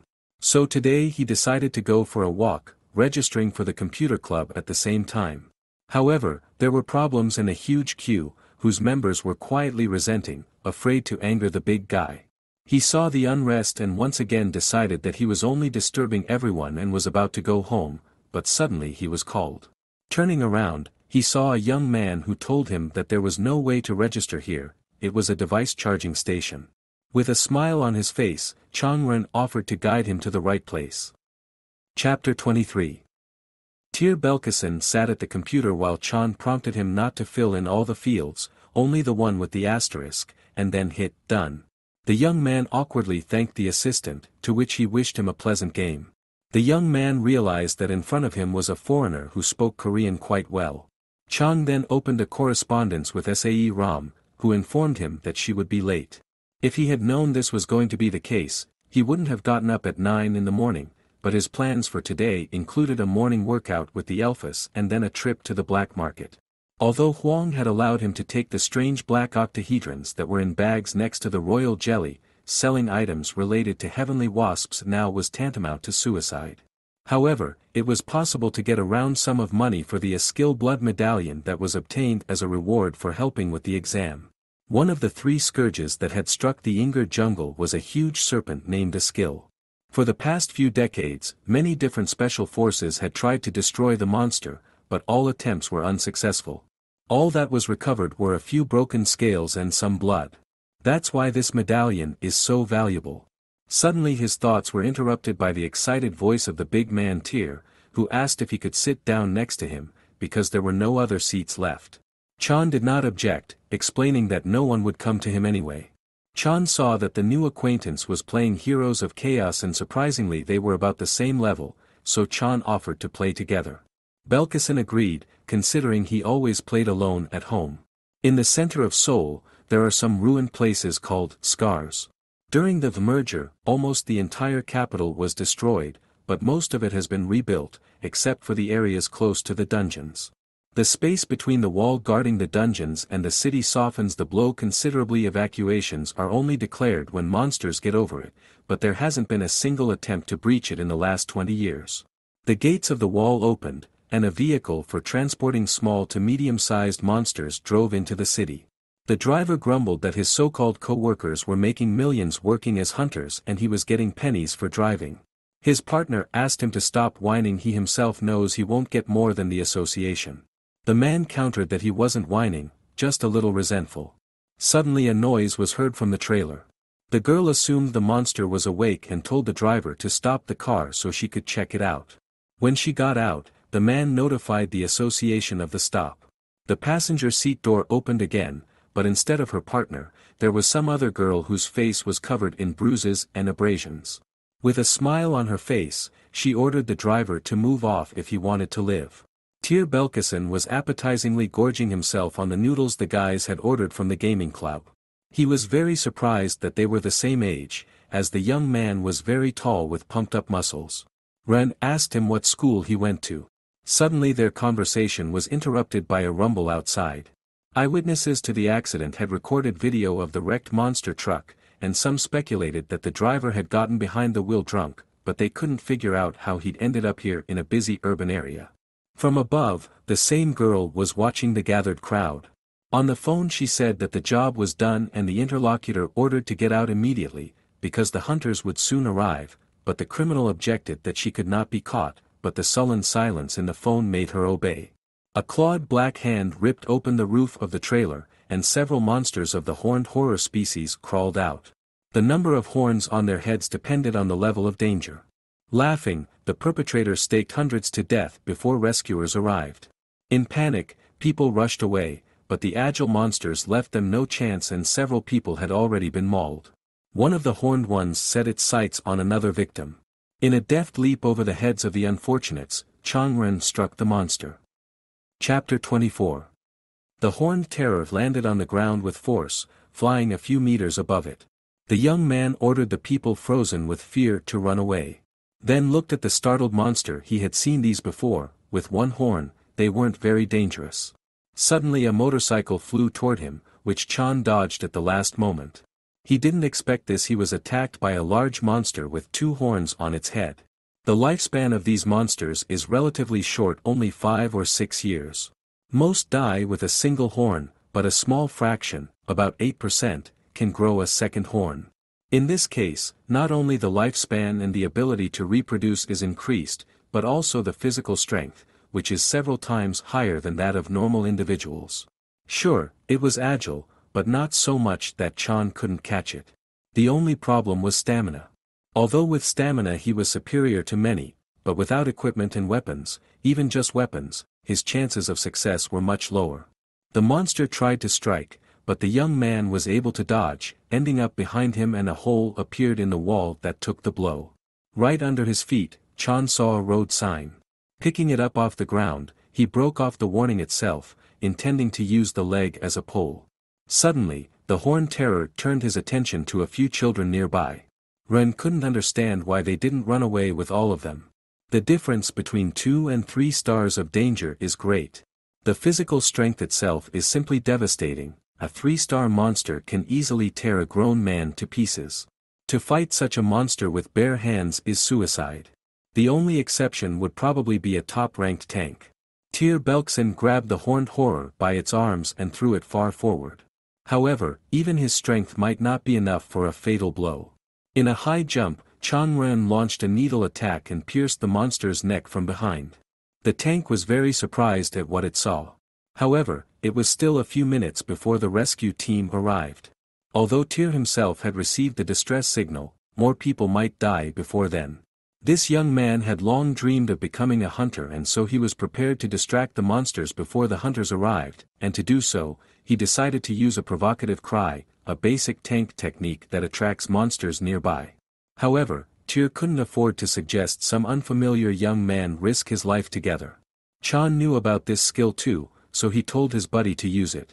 Tyr said he was going to do it, but then it would be very dangerous, so the lad had better hide, but Chan countered that he was going to fight anyway, even if he was alone.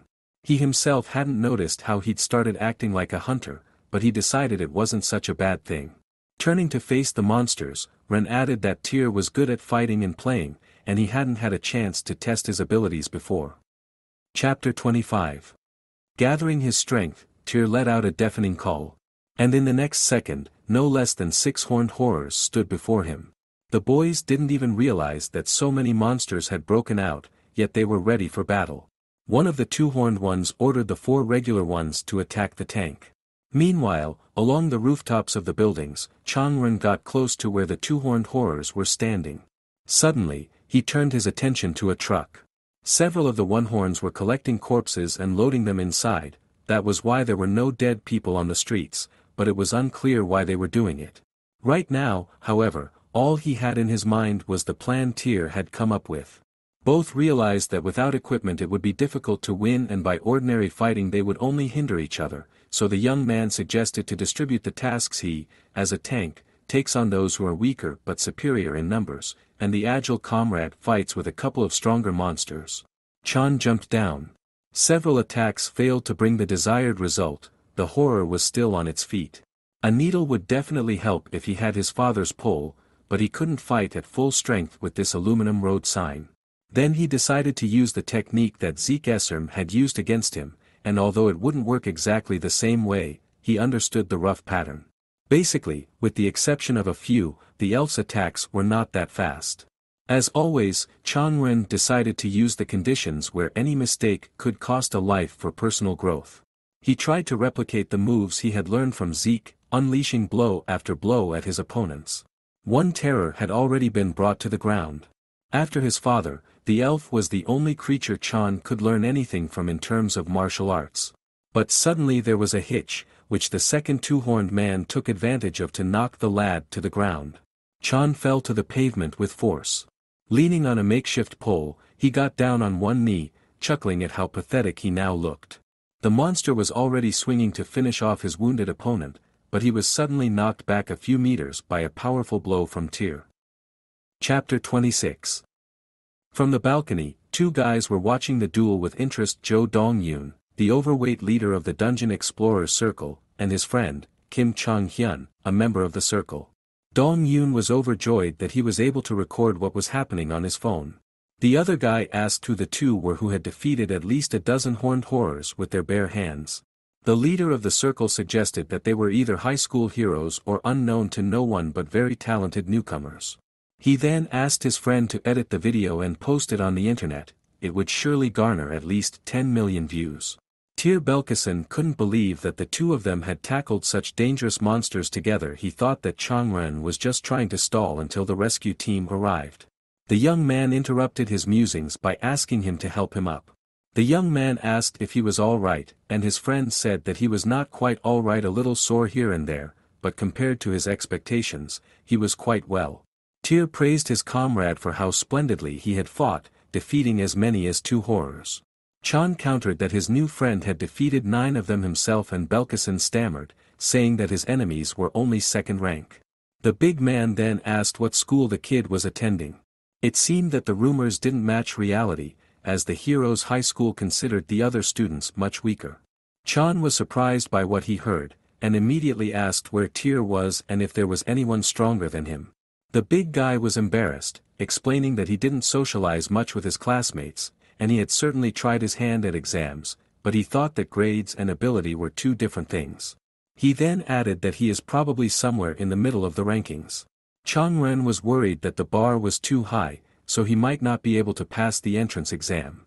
Then the young man drew his friend's attention to the one-horned horror that was standing on the roof of the truck. He didn't seem to be affected by the provocative cry. Chan, however, assumed that if there was anything special, it was inside the trailer. Suddenly the hand of some monster grabbed the one-horned man and dragged him inside. Both were surprised at first, but Chan quickly realized what was wrong. Horned horrors were tribal-type monsters. The two horned ones were considered the leaders and heads of small families of ten individuals each. When several families joined together, its members became stronger and multiplied faster, but there were limitations. In the harsh world of the dungeons, horrors were a lower middle class, as their numbers were regulated by stronger predators. But at one point, the situation changed, thanks to the appearance of the three-horned monster, which overturned the established order. He became not just the leader of the tribe, but the king of an entire large army. His estimated threat level was 5 stars and now he had gotten out of the truck, and was heading for the two unarmed teenagers. Chan tried to block the monster's attack, but the defense was breached and the youth flew backwards. The tank tried to grab the king of horrors, but was lifted up and sealed to the ground. Changren tried to get up, spitting out blood, but every movement was given with great difficulty and accompanied by pain. They simply didn't have enough time. Two youngsters with outstanding abilities would definitely reach the highest level someday, but that moment would not come today.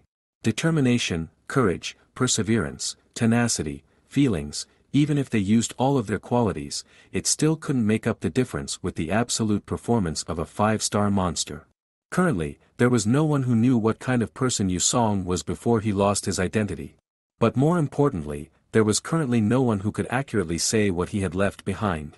Chang Ren struggled to get up, calling out to the monster that was about to finish off his new friend. The king of horrors attacked the young man with a powerful energy charge. Suddenly, he took on the entire flow.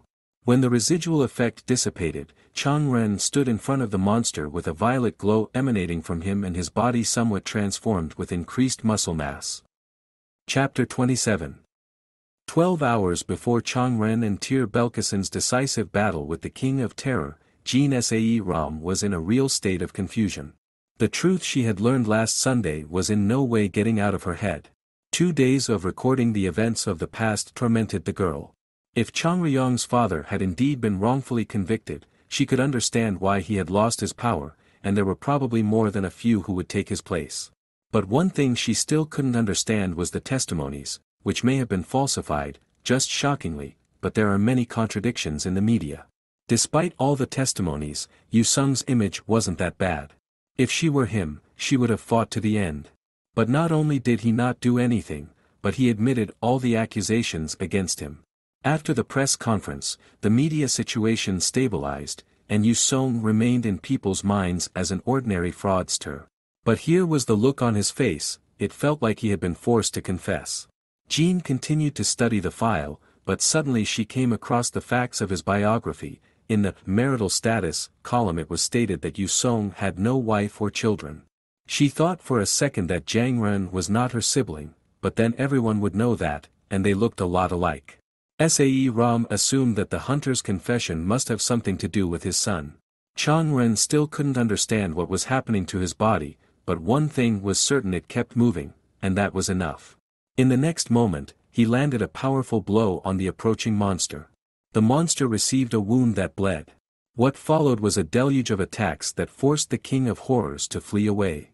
The three-horned monster was climbing up the windows of the high-rise, but Chan was not a step behind. The energy strike couldn't hurt the pursuer, he just dodged it. Ren used the technique of zibing, with which he sealed the opponent into the wall of the house opposite. After the previous attacks, the monster had clearly become weaker. Needle, could have ended the fight, but suddenly all the power was gone somewhere.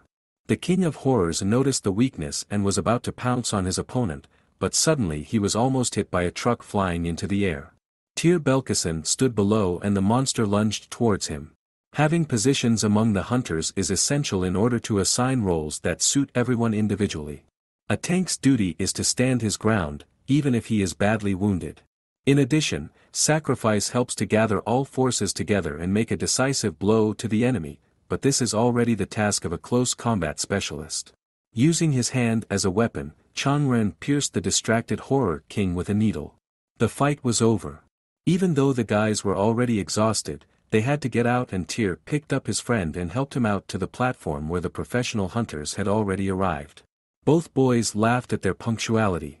The capture of a vehicle that was carrying a captured monster, resulting in the deaths of dozens of civilians. Not an hour later, this shocking news spread everywhere and together with this two young heroes had a huge impact on the world. Chapter 28 Little Chang Ren cried out in pain as his father treated his wound. He asked him to leave it as it was, it would heal on its own, but Yu Song argued that even the smallest wound had to be treated, otherwise it might hurt more later. The boy asked if his father was ever in pain, such as when he was bleeding on missions. The man explained to his son that it hurts every time he gets a wound, and if he starts bleeding, he gets scared, but he tolerates it, otherwise other people might get hurt. As a child, Chang Ren had the same thought in his head that when he grew up, he would become like his dad. However, without knowing the exact reason, he believed that his father would not have wanted such a future for him. Every time he said, you can't, Yu Song felt regret. The boy believed that someday his father would tell him why he said that, however, it was impossible right now. Suddenly, he woke up lying on the hospital bed the situation seemed familiar to him this had already happened a few days ago. Suddenly he saw someone sitting next to him looking closely, he recognized Zeke Esserm. The young man immediately tried to get up, but a sharp pain in his back stopped him.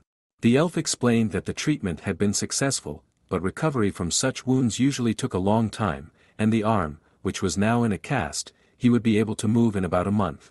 Right now, it was better to think about resting, as there was still a lot of work to be done. Chang Ren thanked the elf, of course, but immediately wanted to ask a question. Zeke interrupted him, guessing what the young man would ask, the elf told him that he and his father had worked together before. Suddenly Chan grabbed an apple from the plate with a sharp movement, which the guest had peeled for himself. Seeing Zeke's tense look, the lad asked what was wrong, wondering if the elf had expected him to try to hit him. Chan then ordered the hunter to get out before he stabbed him with the knife he had in his hand. Suddenly the young man smiled, wondering if this was the reaction his interlocutor had expected. Zeke admitted that he had indeed expected something similar, but only a little more emotional. Ren said that if the elf had come two years earlier, he would have gotten what he wanted in full. His head was filled with thoughts of those who had done this to his father, and those who had seen it all but didn't intervene, and his heart felt only one thing a thirst for revenge. Zeke asked if his thoughts had changed now. Chan said no, but he had reprioritized that dealing with the white rank hunters was not something he was able to do at the moment. His main goal now is to earn money to pay for his father's treatment, and then just live until a cure is invented. Although he doesn't know when he will be able to achieve them, he will definitely do so even if someone gets in his way. Zeke said that he has no plans to interfere with the young boy, but he does want to ask a couple questions why he's not in the paperwork if he's Yusung's own son, and who raised him when his father started having a mental breakdown. The boy replies that he grew up alone. The elf accepted the answer and then asked if the guy knew about Daganahai and Chan said he knew of no such person. Zeke explained that it wasn't a person, but the official name of the dragon whose venom infected Yusong, and the most dangerous creature ever to live on Earth. Until a few years ago, all of humanity was gripped by fear of dragons. Since their appearance, humans, together with the other races of this world, have been building a wall to protect themselves from these ferocious monsters. Thanks to the hunters, dungeons, and the monsters that inhabit them were no longer a threat to human survival. Except for the dragons, which were strong enough to overcome this barrier. They are the strongest, most intelligent and cunning creatures that have ever lived. Although ancient races with hostile attitudes were extremely rare, dragons did not simply dislike humans, but considered them an object to be exploited. But they made the unforgivable mistake of underestimating the enemy, believing that humans would never be trained to fight monsters. The dragons decided to wait until states collapsed and society declined, then they could breed humans like cattle in exchange for safety, and be honored as deities. But hunters appeared, who learned how to mop up the dungeons. When they intervened personally, wiping entire cities off the face of the earth, Yusong came. A hunter who proved that even such powerful creatures could be defeated by being well prepared. Thanks to him, change began to happen and people began to successfully hunt dragons all over the world. Chan said that after that the dragons hid deep in the dungeons, but the elf objected they just changed tactics. They are very cunning monsters who can also take the form of other creatures, so it is very difficult to catch them. Zeke then stood up from his seat and approached the young man, saying that the information he was about to reveal was secret, but Yusong's son and future hunter had the right to know. Daganahai is the leader of all dragons, for a long time, the greatest hunter has been chasing him, but without success. However, if you kill him, you will be able to make a cure for his father. The elf looked the guy straight in the eyes, saying that if Changren was willing to do it, he should go to the top, and then Zeke would give him a chance to punish Daganahai. Chapter 29 Before leaving, Zeke had advised the young man to pretend that he hadn't heard the words or had forgotten about them if he didn't have the resolve. Looking at the card the elf had given him, Chan smiled, he would not back down, even if it meant death. Zeke had also advised him to remember to first do his best to prepare for the encounter with these insidious creatures, for dragons lurk, deeply hidden behind many faces, waiting for their time. Even if they manage to obtain and publicize the evidence, there will be no point until they succeed in destroying these creatures once and for all. Once uncovered, they will only hide again, and there will be panic and distrust in the community. So they must be dealt with quickly and secretly, with one sharp blow to the weak spot. Zeke has been assembling a posse to capture Daganahai for years. Everyone he has chosen are outstanding hunters who can slay a dragon. However, if Chan doesn't level up enough to fight shoulder to shoulder with them, there will be no place for him on the team. And when one part of the plan falls out, all parts of it can be affected. Chan wondered if they couldn't wait for him alone. Zeke explained that the specialists had not yet been able to learn Daganahai's identity, so the young man had about two years to prepare. The elf then cautioned that when everything was ready, Chan's circumstances would not be taken into account, so he should think carefully before agreeing. Zeke didn't care what anyone thought of him, if the young man didn't believe him, they might never meet again, but whether or not Chan accepted the offer, the elf could promise one thing for sure. Whether he joins them or not, Zeke will surely destroy Daganahai. At first, Chan had his doubts. He couldn't believe that there was finally a chance to cure his father. But at this moment he felt not fear, not confusion or even anxiety, but joy, and he couldn't afford to miss the opportunity he had dreamed of his whole conscious life and he would definitely be a part of this team, no matter what it cost him. A lovely woman of short stature entered the room, asking how Chan was feeling. He said he was fine overall, but his muscles were sore. The woman smiled, explaining that it wasn't surprising given the damage that had been done, the arm had to be put back together piece by piece. Chan looked at the plastered limb and asked again. The woman said that when he had been brought to the hospital, the arm had been in a very serious condition, it would have been amputated. But a high-ranking elf healer had been involved in the operation and had reassembled the upper limb. Chan then awkwardly asked about the young man who had been brought in with him. The woman said he was discharged the same day that Guy's recovery rates were astounding. Suddenly, the nurse asked for a photo with the patient. The young man did not object, but asked if he could be discharged. The woman said he could, but it was better not to go through the main entrance it was full of reporters eager to interview him. Chan didn't understand why they wanted to interview him. Then the medic explained that after the battle with the King of Horrors, the whole world knows about the two young heroes.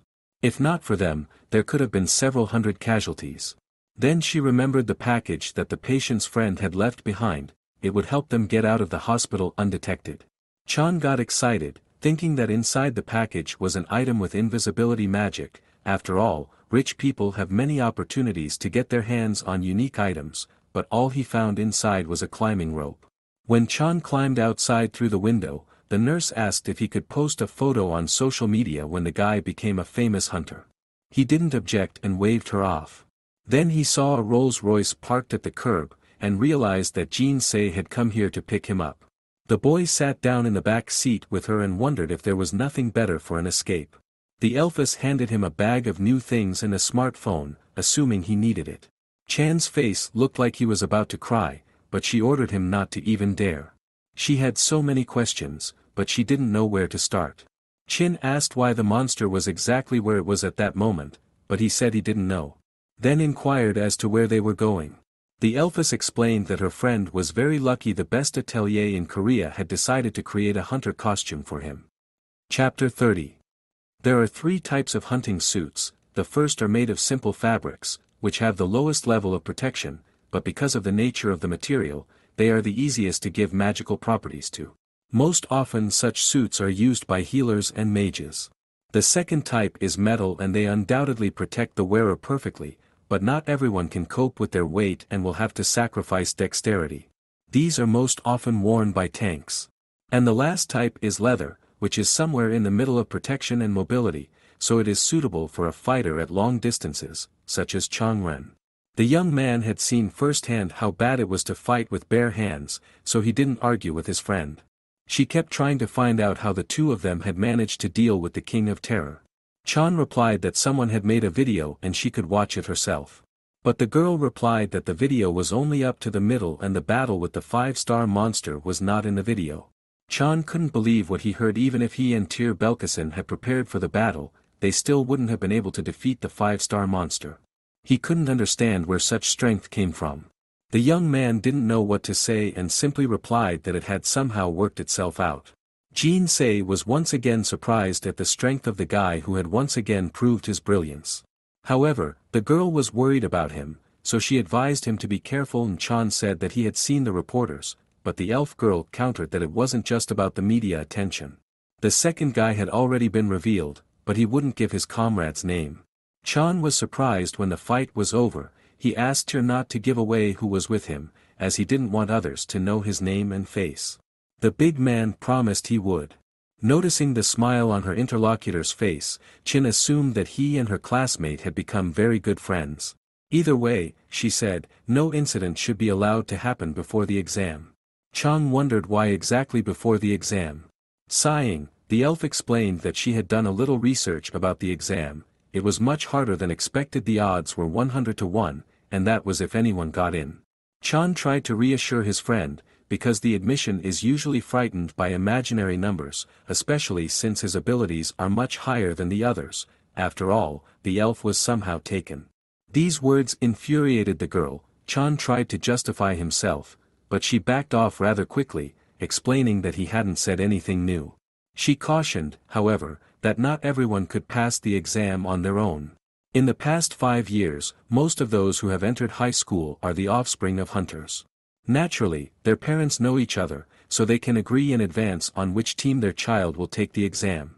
The number of those who entered in this way, especially in the last five years, is 100%. Their school does not have such a provision, but the Elfess advised Chan to try to transfer on special grounds, for merit in the destruction of monsters. The self-assured young man said he didn't need it. Most is not all and if someone before him was able to, he would enter the school on his own. When they entered the building, Jean Sae said she would go first and her friend could change in the restroom for now. The Elfess walked up to the front desk, telling the employee that she had an appointment with the president of the company. Suddenly, the landline phone rang and the receptionist picked up the phone, and after the conversation, she informed Chin Say that the president had some urgent business to attend to, so he wouldn't be able to accommodate them today, but would compensate them. The girl freaked out, saying that it's not about compensation, the exam is two months away, and the president is just canceling the meeting without informing her personally. Some girl was watching the conflict from behind cover and the guest's face seemed familiar to her, but she couldn't remember the name. Lately the hunters often said that the youth had changed. The warriors who came to replace them always found themselves in better conditions than their predecessors. Not only were the equipment and technology more advanced, but they also had tactics for attacking monsters, which the first wave of hunters had learned through personal combat experience. However, by the phrase, current youth, they meant those who were already born into wealthy families. The pioneer hunters formed marriage unions, giving their children everything they had themselves. This applied not only to skills, but also to upbringing.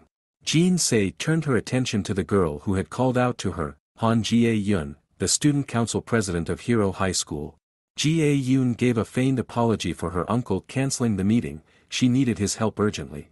Since she was the cause of this inconvenience, she has a great idea on how to make things work out Jean Sae just gave up her seat, and Jie Yoon is very grateful to her for it. It was utter nonsense, but the Elfess understood what it meant to be the president of the student council, and she was also well aware of Han's bad temper. Confused, she couldn't utter a single word. Suddenly, Changren called out Changren from behind and told Jean Sae that it couldn't be helped if the student council president urgently needed an uncle. Han Jie Yun was about to thank him, but he suddenly turned to her, telling her to cut the crap and get off his friend's back. Chapter 31 Chan's boldness impressed the insolent maiden. She asked who he was. Jean Sae tried to explain, but a sudden cutting pain engulfed her body. Han Jie Yun ordered the elven girl to keep her mouth shut until she was asked. The young man told her all the facts about himself, down to where he lived, his height, and his favorite food, but at the end, he emphasized that he was preparing to transfer to the Hero High School. The guy added that he was disappointed that in one of the best schools in the world for hunters, some damsel was hazing, just like in the army. Jie Yun was offended by this. Suddenly, Chan felt the same pain as his girlfriend a moment earlier. The student council president said she didn't particularly dislike people who threw loud words only if they had the right to do so. Suddenly, a man ran out into the lobby of the center, it was the president of the company, Han Sung-woo. He scolded his niece for barging into his office so unceremoniously and answering the phone. The man reminded her that it hadn't even been a week since the incident happened and apologized to the guests whose meeting had been disrupted. Chin Se rushed to reassure the company president. Chang Ren beckoned his friend over and asked what exactly Han Jie Yun was doing at their school. The Elfess explained that the student council president is a position that only the strongest student in the school can obtain. Each student receives a temporary license that allows them to gain experience by scouring dungeons of lower ranks outside of school hours, accompanied by a professional hunter. However, there is an exception, the Student Council of the High School of Heroes. Within the institution, groups of students with exceptional grades are formed and recognized as an unofficial mop-up team. They are given the right to self-monitor and voice their opinions to the board. And may team up with professional teams to clear dungeons with danger levels above 5 stars. Therefore, student council members are unofficially considered to be future rankers. A member of the student council can only become a member from the first semester of sophomore year, and Han Jie Yun got in as soon as she finished her first semester. What happened next was that the girl challenged every member to a fight, moving up until she defeated every member, becoming the youngest president of the school. Jie Yun asked her uncle to stop nagging and said she had to go. But Chan held her back, offering her a bet if she beat him, they'd give her a seat. Chin Se tried to reason with her cocky friend, but her opponent said that if it was a bet, there was a stipulation in case she lost, too. Chan praised her for her smarts and said he'd heard of the shadow sparring technique. Shadow sparring is a technique based on ancient martial arts. It is forbidden to touch the opponent or dodge his attacks, and the first one to give in loses. This method protects the participants from damage, but significantly pumps technique and feelings. Therefore, it is used by hunters all over the world. Chan said that if she lost, he would take the student council president's seat next year when he entered the hero's school. The pixie's legs gave a shake due to the excitement of what she heard, she tried to stop this argument, but she wasn't being listened to. There was no way Han would agree to this, she thought, if she was in her right mind. However, without further thought, Jie Yun accepted the young man's terms. Chapter 32 When Han Jie Yun left to prepare for the duel, leaving her friends alone, Jin Say made one last attempt to talk the young man who had made the bet out of it. It would be fine if his arm was intact, but in such a state he would not be able to win, but even if he won by some miracle, the Elfess warned that no one would give him the place of the president. Chan replied that he had no intention of winning even with a limb intact, Han was too strong an opponent for him. He understood his friend's confusion, but asked her to just trust him. Here the bout participants were already standing opposite each other in the atelier's costume testing arena. The president of the company grimly apologized to Jean Sae for wasting her time to come to the meeting, but his niece is a stranger to tolerance, she reacts acutely to every word. The guest said that the man has nothing to apologize for, because her friend showed excessive stubbornness, and this is what it led to. The president grinned as he shared his suspicion that Jiang Ren had not just made that bet for no reason he must have a purpose. Han Jie Yun informed the young man that she would also use one hand, that the fight was as fair as possible. Chan said that it didn't matter to him, but if she was preparing to lose, he wouldn't interfere with her. Suddenly, she threw a leg kick so fast that the guy barely dodged. Jin Se and Han Sung-woo opened their mouths at the same time, but the reasons for their surprise were completely different. Jin Sae was amazed by the girl's speed of movement.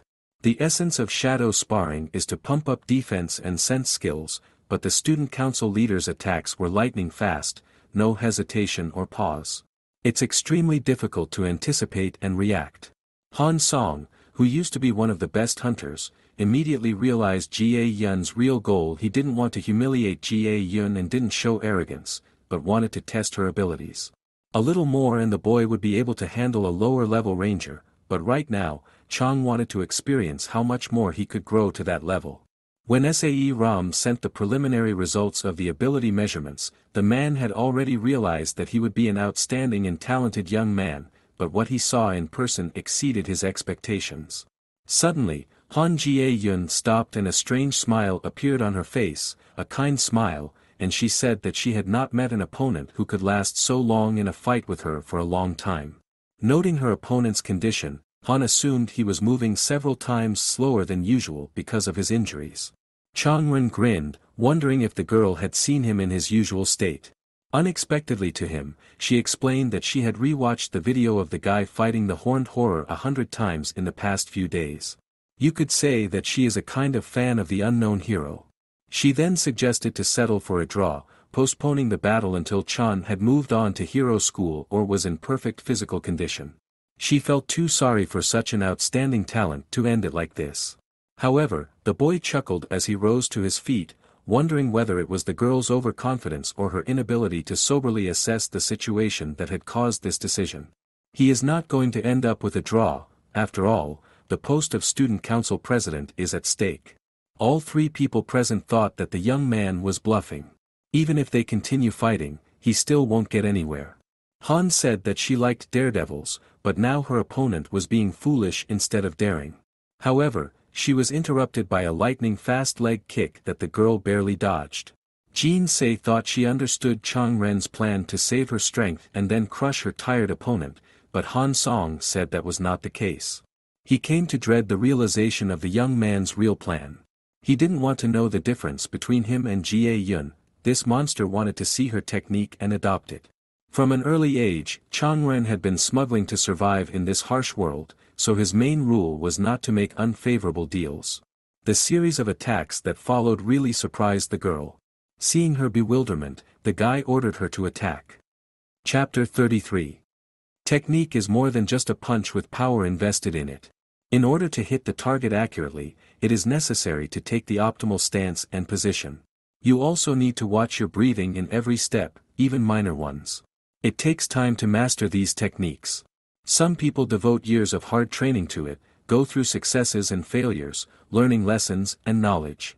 The experience gained is passed on to the next generation, improving each time. Even the most talented person could not achieve amazing results in a few years alone. Finally, when Chang Ren's development stalled at the age of 17, he met a wall that prevented him from progressing. For the sake of advancing to the next stage, he had to break down this wall. He threw off the bandage holding the cast and ordered his opponent to attack, unless of course she was afraid of losing. Han Jie Yun turned to her uncle, reminding him of his request to make at least one contract out of the dozen that had been offered to his niece. She promised to honor the request, but on one condition he must not stop her. The girl then turned to Changren, saying that if he wanted to see how the best student of the Hero High School should fight, she would be happy to demonstrate it. There are connecting elements in human movements, every second they have a beginning and an end. Therefore, the watcher subconsciously assumes what action the person will perform next, such as continuing to walk calmly or breaking away and running. Han Jie Yun has learned to skip the in-between moment by tricking the opponent's vision. Moreover, she makes the opponent feel her speed. This is the same technique that made her father famous 20-odd years ago, Flash. The girl's uncle watched with interest and horror as Chang Ren repeated the flash several times in succession, using moves that Jie Yun had yet to demonstrate. The man did not understand how this was possible, as it was impossible to repeat such a complex technique on one understanding. You need flexibility and agility, and most importantly, a sense of timing. He himself had learned the technique from his brother when he was 20, the age at which all abilities reach their peak. Even then, it had taken him three months just to understand it, but this guy was able to learn it during the fight with Jie Yun, and in such a terrible condition. Han Sung Woo was right that after all that Changren had endured, his strength was already running low. However, right now, he was feeling better than ever. The joy of learning something new that he had never experienced before was overwhelming. Even if it wasn't in a very familiar way, he had a goal, a motivation, and an understanding of how to achieve it. Chan had the impression that pain and fatigue were alien to him, but after making a few more movements, he fell to the floor at the touch of his opponent, and Han Jie Yun was glad that it was over quickly. At the same time, the former rivals admitted their defeat. However, Han Sung-woo ran up and explained that it was clear from the beginning that Jang Ren couldn't get the upper hand in such a state, so he, as an adult, had to stop the silly argument. So he suggested that the guys settle for a draw, and have a real fight when the young man was fully recovered. The boy agreed. Han Jie Yoon warned him that they would definitely see each other at school.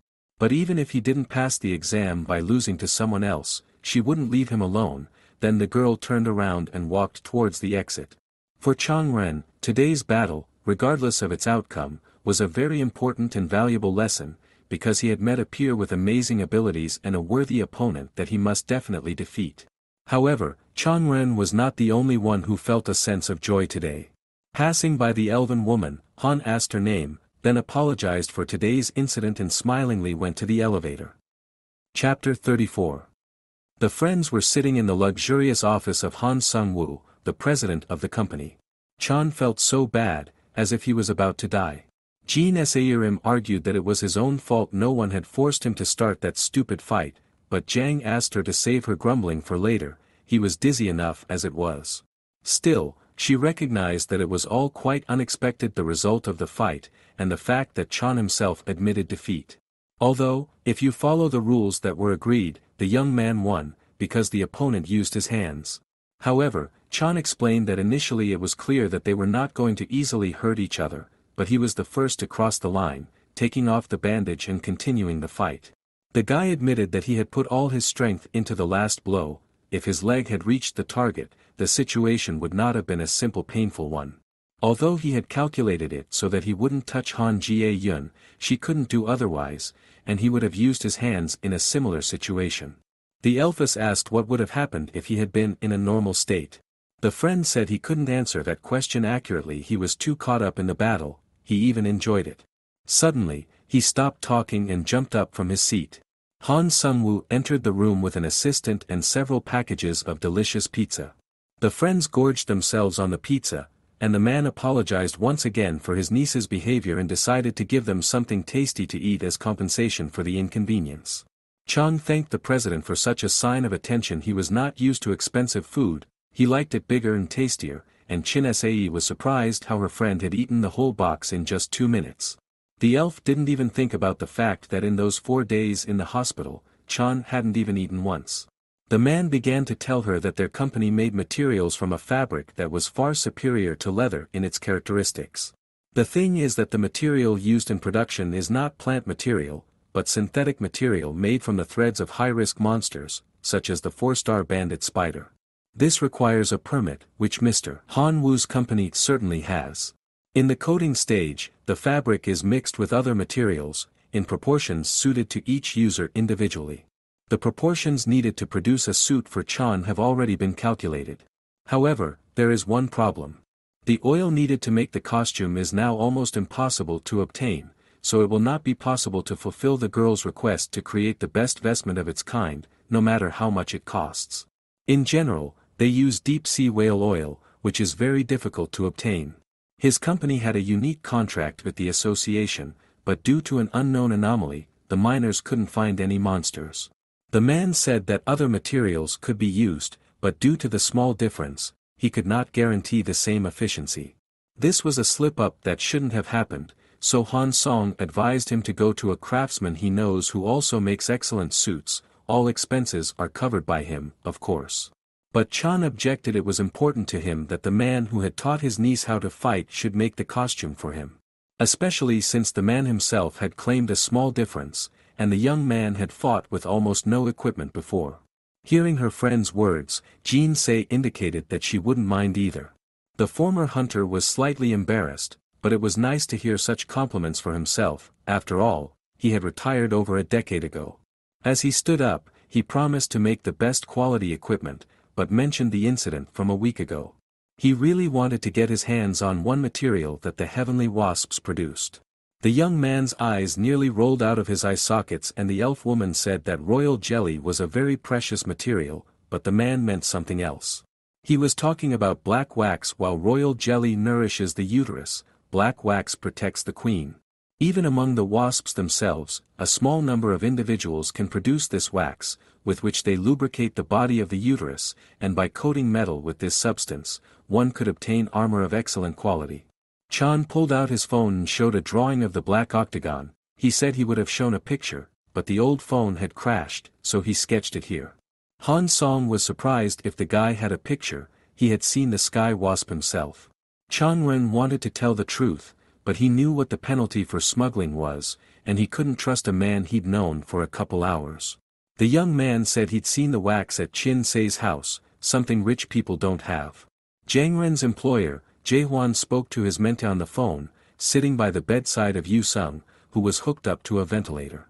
All of the once great hunter's veins were glowing purple the effect of the dragon poison.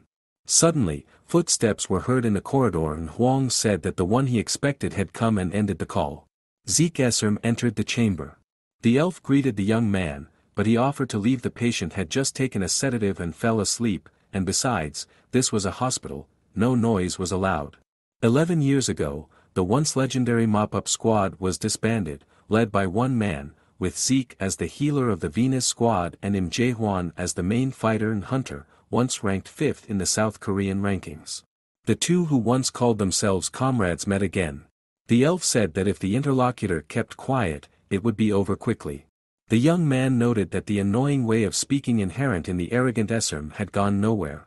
Zeke ordered them to shut up and follow him. Chapter 35 The friends stood outside the company building.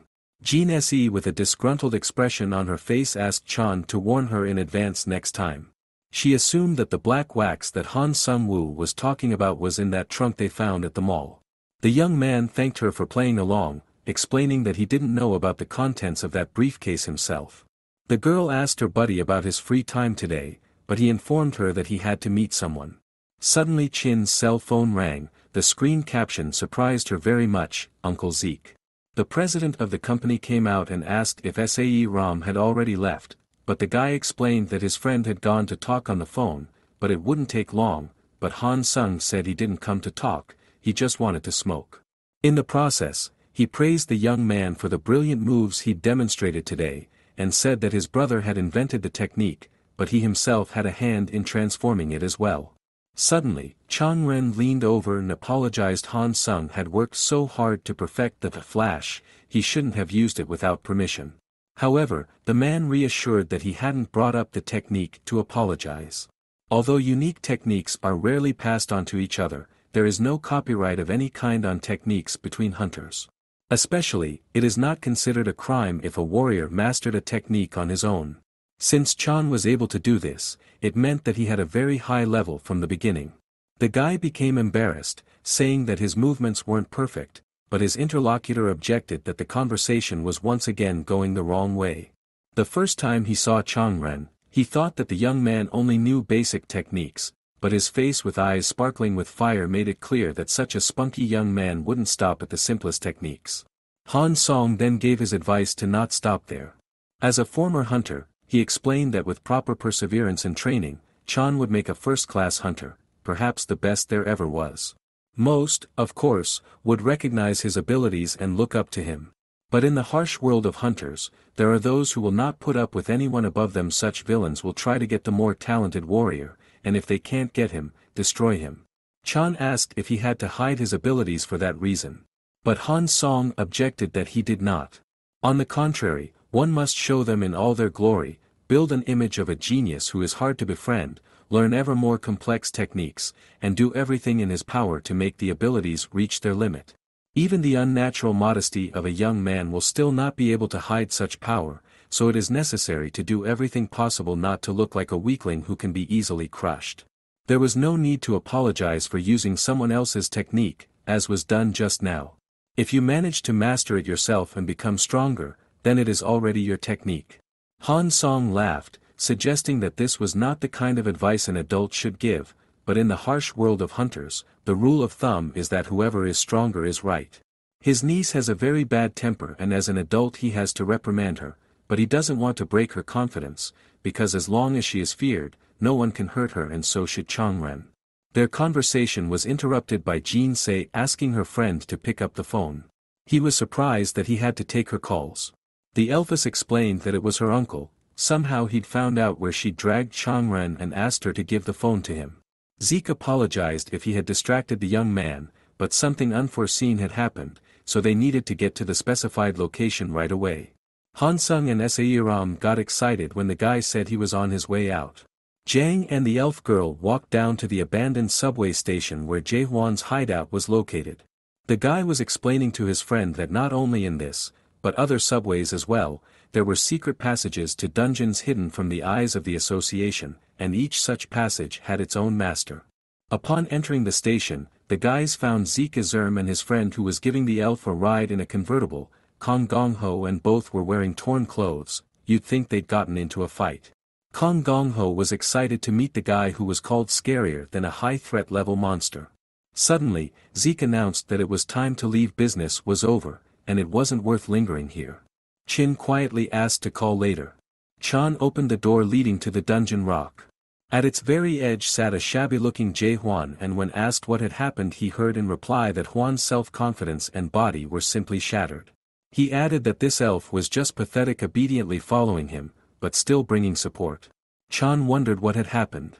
His employer said he shouldn't worry about it, but still hinted that that second one held the defense pretty well, even without being a tank, and would probably be a great hunter in 10 years, with about a quarter of Yusong's strength. The young man wanted to say something about something, but Huang realized without words that Changren wanted to drop the smuggling. He said he would allow it, but with one condition the boy would master what Jay would show him in a month, and if he didn't, he shouldn't even think about becoming a hunter. It won't be easy as it is somewhat different from the lad's skills. With a smile on his face, Jang saw how his interlocutor made the cigarette but he had in his hand levitate, meaning Jae Hwan was going to teach him magic. Chapter 36 Chang Ren was eager to find out why he wanted to learn magic, but first he decided to listen to what Huang had to tell him. He took a couple steps and almost fell, but the young man managed to pick him up and dragged him to the station, asking him to rest. As he touched the broker's body, Chan felt that it was eerily cold, it was definitely not simple fatigue. Yusong took the boiling kettle off the stove, he never thought that grinding and brewing coffee beans would prove so easy. When he worked as a hunter, he could easily find time for this activity as well. 26-year-old Im Jae Hwan, sitting across from him, asked his comrade not to speak in the past tense, as if he had given up hunting with the ends. Sung objected not as if, but exactly. However, the fellow didn't let him finish, blurting out that all he had to do to recover was catch Daganahai and he wouldn't even have to do anything if he officially announced the purpose of the raid and assembled a squad. However, Yusong explained that even then, there was no way to catch the dragon it would simply lurk and wait out the raid in a secluded place, and then continue to do evil as if nothing had happened. Jay shouted, saying that it wasn't just Duganahi, those silly rumors could have been put to rest a long time ago if they'd wanted to. He asked the leader to let them do it all themselves, and when Sun recovered, they would bring all the ungrateful creatures to their knees. A thump on the table startled a small boy standing at the entrance to the room. The hunter asked the child not to be afraid of Uncle Jae and then informed him that he would be going to bed soon. Seeing the confused face of the student, Yu Sung introduced the guest to his son. The father asked the boy to play alone and said he would call him for dinner soon. Left alone with Huang again, the man said he wouldn't last much longer. Zeke, of course, had created an anesthetic from the milk of the celestial tiger, but he would soon become resistant to it as well. But pain was another matter, as his intellect, memory, and perception would gradually deteriorate, and in another three or four years he would no longer recognize people. The interlocutor said that this was something that needed to be prevented, but suddenly the man stood up and asked Jae Hwan to replace Jang Riyong as his father when all of the above happened. This was the first time something like this had happened the great Yu Sung, who never showed his weaknesses under any circumstances, made a request to another man. The young man simply could not refuse his friend. Huang woke up lying on the bed and felt much better, and the bruises and abrasions were gone from his face. The young man asked his mentee if he had really let that freak touch his body. Chan explained that he wanted to take his employer to the hospital, but he didn't know how to describe the condition, so he just gave him a shot. This emergency potion had been a gift from Jay himself in honor of the young man's start, of course, it wasn't a panacea, but it could help in many cases. The medicine can restore the person taking it for two or three hours, a luxury even for professional hunters, but once used it can be used. When 14-year-old Chan was going on his first mission, the guardian said that if the boy wasn't sure, he could cancel now, but if he agreed, he couldn't just cancel in the future. However, Ren countered that he had long wanted to gain the ability to protect his ailing father in any situation. The young man praised him for not putting the drug on the black market. Huang said that even if the young man hadn't become a smuggler, he would still be paying for his father's treatment. Jiang replied that he understood that, though he wasn't 100% sure. Jay countered that he'd already betrayed Yu Sung by making his 14-year-old son a criminal, but the guy said that he would have found another way otherwise. However, he really wondered why Huang had agreed to help so easily. The young man said that Song asked him not to make his son a hunter, but it's not just that. He hates this stupid world. He hates the bastards who drove his friend to this state, the idiots who believed the lies, and the freaks who knew but didn't mind. He wants them all dead. Chan said that Zeke wants to help, but Huang again wouldn't listen and said that this elf is just a fool and no matter how sincere his intentions are, his methods are too naive, there's no way he can catch Daganahai. Dragons are the most cunning creatures of this world, so made it so that their destruction would result in huge losses.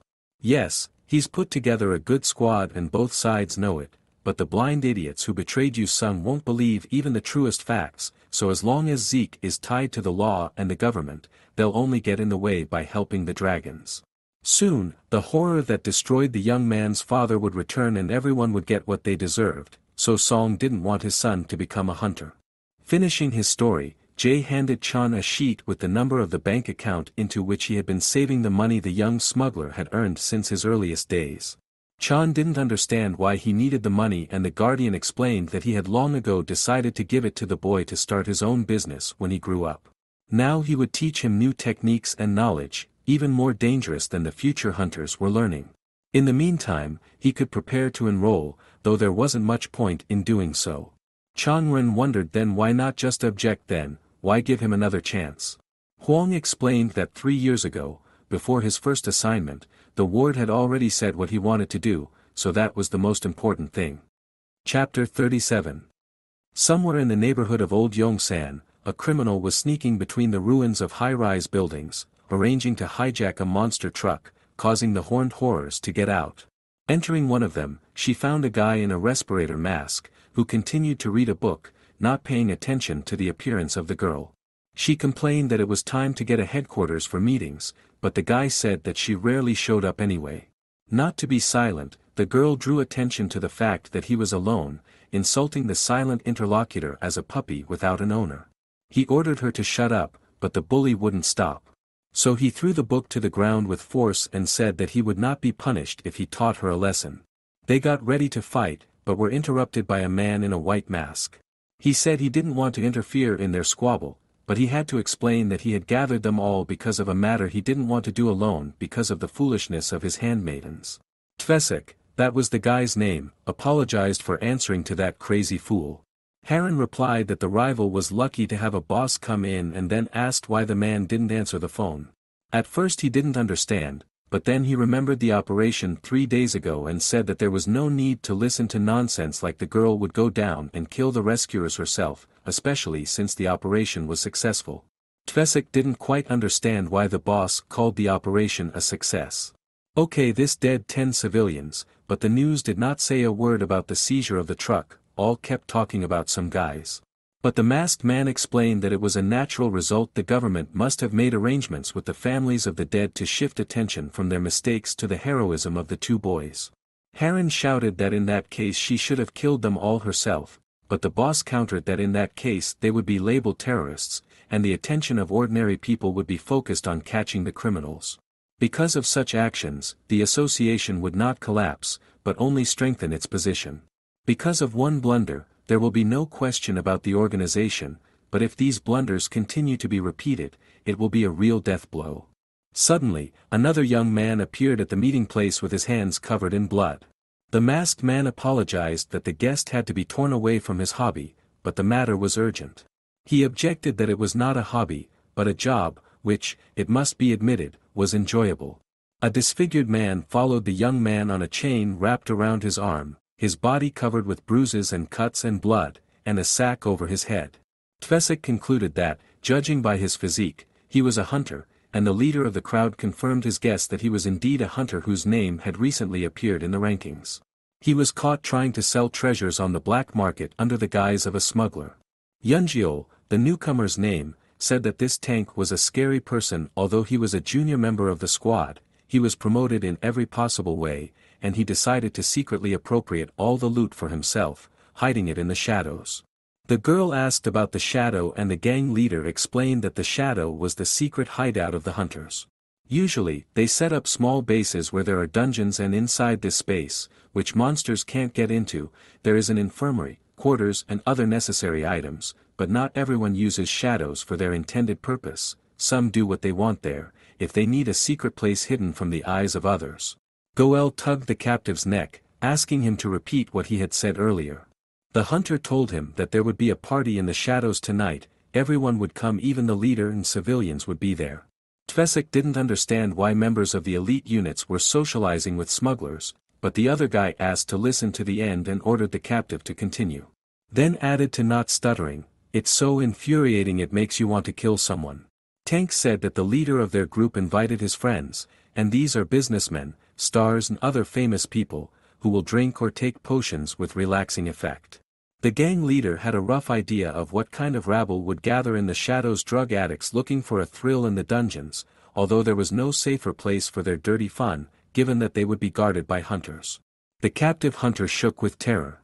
Yunjiol calmed the victim with the affectionate voice of a psychopath, saying he wouldn't hurt him anymore. The boss announced that now he would unfortunately have to be let go. The man then said there would not be a living soul left there tonight. Elite hunters and ordinary civilians in a highly drugged state were torn apart by the monsters in the dungeon, was the truth that the whole world would know. Yunjiol asked if the boss would let them do it all by themselves. The man said there shouldn't be a problem, because this is what they've always wanted, chaotic mass slaughter. Their target is an elite squad of hunters two golds and six rankers, and the enemy is strong enough for his underlings to relieve all the stress they've accumulated. Once their bodies are discovered, the stench of corpse decomposition will finally wake this world up, which means it won't be long before it's time for their Scar Squad. A month later, Chang Ren was riding in a cab, talking to someone on the phone and told them that he would be arriving in two minutes. He also said that the cast had been removed in the morning, but that his arm was still weak, and that it would take some time for his nervous system to recover. Jean Sae, who was on the other end of the line, said she saw a cab and waved happily. Getting out of the car, the young man opened his mouth at the building he saw. The girl said it was for practicing with Juan, and she had to get ready for the credits. Tyr Belkacem got out from the other side of the rear passenger seat and Chan explained to his girlfriend that they met in the hospital in the morning and talked about the exams. By the way, they'd be in the same class if Say Ram didn't mind. The big guy got shy and lowered his head. Chapter 38 Jean Sae decided to take a tour of the training center, which included the main training room along with the swimming pool. There's a recreation area with free food. There's a weight room where all the machines have special weights and are designed for hunters. There's also men's and women's dormitories and a spa complex. Chan couldn't believe that all of this belonged to the elven uncle. But she explained that it was no surprise some rankers had bought out entire mountains and built training fields in their place. Zeke sometimes came here with his colleagues to train, but the rest of the days the center was at their disposal. Seeing Tyr looking at the barbell pancakes with interest, Chin wondered what it was. Chang objected that a classmate couldn't be called it. The girl explained that the boy probably didn't consider her his classmate. The young man asked if she'd ever spoken to him. Chin said that everyone knows about Tyr's arrogance, he doesn't even pay attention to the honor students, and not even to her. Chan then summoned his mate here, saying that they hadn't come here to have fun. Unexpectedly to the elf, Tyr apologized, he had always wanted to try the brand. On the way to the training center, they were just discussing the girl. When Tyr found out that the one who was helping Chan, he got excited and Chan said that if they had a bad relationship, he could think of something, but the big guy said it was fine. It's just that he's always been afraid of Jean Sae, but at the same time he thought she was cool. Hearing those words, Ren couldn't figure out if it was exactly the Jean Sae they were talking about right now, but Tyr confirmed his answer. Although she wasn't very quick-witted, it was clear from her freshman year that she wasn't the type to give up quickly. She knew that many students disliked her, but she always kept her head straight. He couldn't say anything about her grades, but her classmates' steadfastness and tenacity had always fascinated the big guy. Chan asked what his friends thought about the threesome practicing this weekend. Jean Sae objected, since he had to study for his exams, which were only a month away. The young man said it's just memorizing and analyzing, not putting skills into practice. Preparation was certainly important, but they could spend this time much more efficiently. Chan went on to explain that he had personally encountered strong people over the past month, adopting their techniques that he could share with his friends. They would be able to share knowledge and give each other evaluations, it would not only be beneficial to him, but to them as well. He didn't want to remind them that they were considered outcasts in their schools, and if he switched to them, he wanted to share knowledge with his friends. He then turned to Jean Sae, saying that it wasn't just his exam that was important right now, but her session as well. He would get in, but the elf could be kept back for a second year or kicked out altogether. Chin said she realized she couldn't teach them anything. However, Chan objected that this was not true and asked Tyr if he knew how to use magic and Tyr replied that so far he had only listened to theory in classes and then Chan explained that their friend was an archer mage who used magic skillfully, though she could not combine it with other techniques properly. In that case, Tyr said that he had wanted to learn magic for a long time so he could use it somewhere. Tyr hoped he looked natural enough, and Chan asked his friend where to change. Fifteen minutes later in the dueling room, Chin Sae asked where her buddy had gone, to which Ren replied that he was on the phone with his parents. Picking her moment, the Elfess thanked Chan for taking some sort of guardianship over them. She never thought she'd be friends with anyone else, much less the silent Tyr. Now, it seemed, she realized that the classmate wasn't so bad. Suddenly, a few more high school students entered the room. The snow-white hair and voice that annoyed Jean Sae so much, it was Anisha. Rom was surprised to see her cousin here since her uncle wasn't here right now. The girl countered that Zeke had given her permission to use the hall anytime he wasn't here. Seeing Chan's confused face, her friend introduced her cousin Anisha Esserm to him. The snow-white-haired elf pretended to be pleased that her cousin had brought a friend. She then introduced her friends, whom she invited to socialize and at the same time train here. Anisha reminded her that her sister didn't like to be around a lot of people, however, if she decided to leave, others might think she had been kicked out. If she asked, they would gladly take her into the company, it would be a good opportunity for her. Seeing that her friend was confused, Chang Ren interjected into the conversation asked if he and another one of their buddies could also join the training together. The sophomore who was with Anisha asked the guy what school he was attending.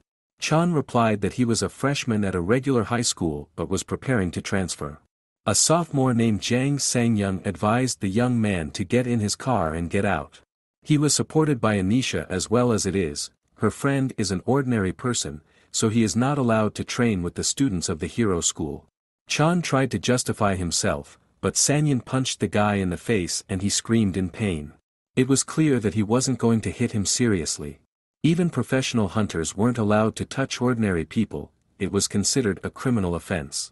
Jan just wanted to wave his hand at the guy's face to show the difference in levels. He should have dodged backwards automatically, but he put his head under the blow. But to do that, one would have to calculate everything perfectly. Covering his face with his hands, Chan lamented that he only wanted to be friends and practice together, but the guys had crossed the line. Suddenly, he raised his head with a smile, saying that there was nothing he could do, he would have to defend himself. Chapter 39 Depending on the scale, cameras were installed in the hunters' training halls to record everything that happened there. The recordings were then reviewed, and the warriors would analyze their movements, working on their mistakes. Chin Se knew about this as well, so she was happy to have a safety net in the form of a recording of a hero high school student firing his fists for no good reason. She didn't know what Changren was up to, but she realized that he had set the situation up, as evidenced by the overly fake shaking. San Young interjected about self-defense. Chan explained that he was a reserved person by nature, so when trouble happened, he couldn't sleep well, constantly remembering that moment. The sophomore apologized for the punch, but said that the guy was exaggerating, because there weren't even any wounds left. The young man turned to Jean Sae and started cursing that Jang was the one who started the fight and now he's accusing the victim of exaggerating the attack and asked the elf girl whether he should call the police or go straight to the school administration. Then San Young asked to stop and asked what the guy wanted money or, indeed, to participate in the training. But Jang said he would defend himself, because he wouldn't be able to sleep well if he didn't return the favor. Chan thought the guy was crazy, but told him to try to hit him. He figured that since the psycho was in a regular school, one flimsy punch would be the best way to get rid of him. However, at the crucial moment, Jan dodged, causing a flurry of outrage from his friends. The sophomore dodged by circling the insolent youngster, that was how the picture looked in the eyes of others. However, from Sanyang's own perspective, it was different if he hadn't dodged the fist, he would have felt the full force of his opponent's power. Chan said that such a deception was a bit hurtful. Then Anisha told her friend to finally admit his mistake, apologize and make amends. Jan tried to apologize, but Chan countered that fighting was the only option to resolve the issue. Angry at the youngster's insolence, the sophomore ordered an attack. Chang Ren snapped out of his seat and ran forward. He moved so fast that Jiang could barely keep up with his movement. Suddenly, he felt a pain in the area of his nose. A mockingly weak punch and a look that said, I hit you, let's call it a day, was enough to make the hero school student furious. A series of quick attacks were unsuccessful. When the moment was right, Chang made a slashing motion and put his raging opponent on the floor. He apologized, saying he didn't mean to mock, he just wanted to see if he could fight without getting hurt and extended his hand to his fallen opponent. Seeing his friend's taunts, Jan turned away from Chan. The young man then turned to Jean Sae, asking to take the camera footage. She asked what else he was going to do here, but the guy calmed her friend down, explaining that these records were for her he moved as slowly as possible, so that she could see everything in detail. The girl realized that he had originally started the fight for her and Chan had said so, that was true, but he wasn't the one who started the bullying first, that was a fact. He asked the elven girl about her cousin. From what Tyr had told him, Chin Se didn't really bend to Anisha, which was why she was an outcast. When Chan gets to their school, he wants to make friends, but he's not going to grovel to anyone. Their conversation was interrupted by Jiang Sang Yun who tried to attack the winner from behind. Suddenly, he was stopped by Anisha herself using magic. The girl accused her friend of not having the basic qualities of a hunter, but at the same time dishonoring her as well. Suddenly Chong Ren felt uneasy and his hand began to glow purple again. Chapter 40th Three weeks ago, Chong Ren had received a package of old stuff from the medical center he had been taken to after his encounter with the King of Horned Horrors. He didn't hold out much hope, but now it was some junk and even the Enkill blood had probably lost its properties by now. In situations that threatened the user's life, the blood and kill would produce and absorb magical energy. The moment he was attacked by terror, he felt something in his pocket activate. He probably survived because of that thing, but the power that awakened afterward, could it really be the medallion's effect as well, at least he had no other explanation. However, it's hardly some hidden power like in girls' comics. Its minimum price in the market is over 2 billion won, no wonder it has such effects for that kind of money. Suddenly, his musings were interrupted by a sudden realization he had just lost over 2 billion won. Here and now, he was experiencing the same feeling. But why did it happen again, maybe it wasn't the medallion at all. Anisha approached him, asking how much his cousin had promised him, she would pay several times the amount plus liquidated damages if he agreed to work with her. Chin Se called the words nonsense, but Anisha countered that it wasn't nonsense, it was a good business proposition.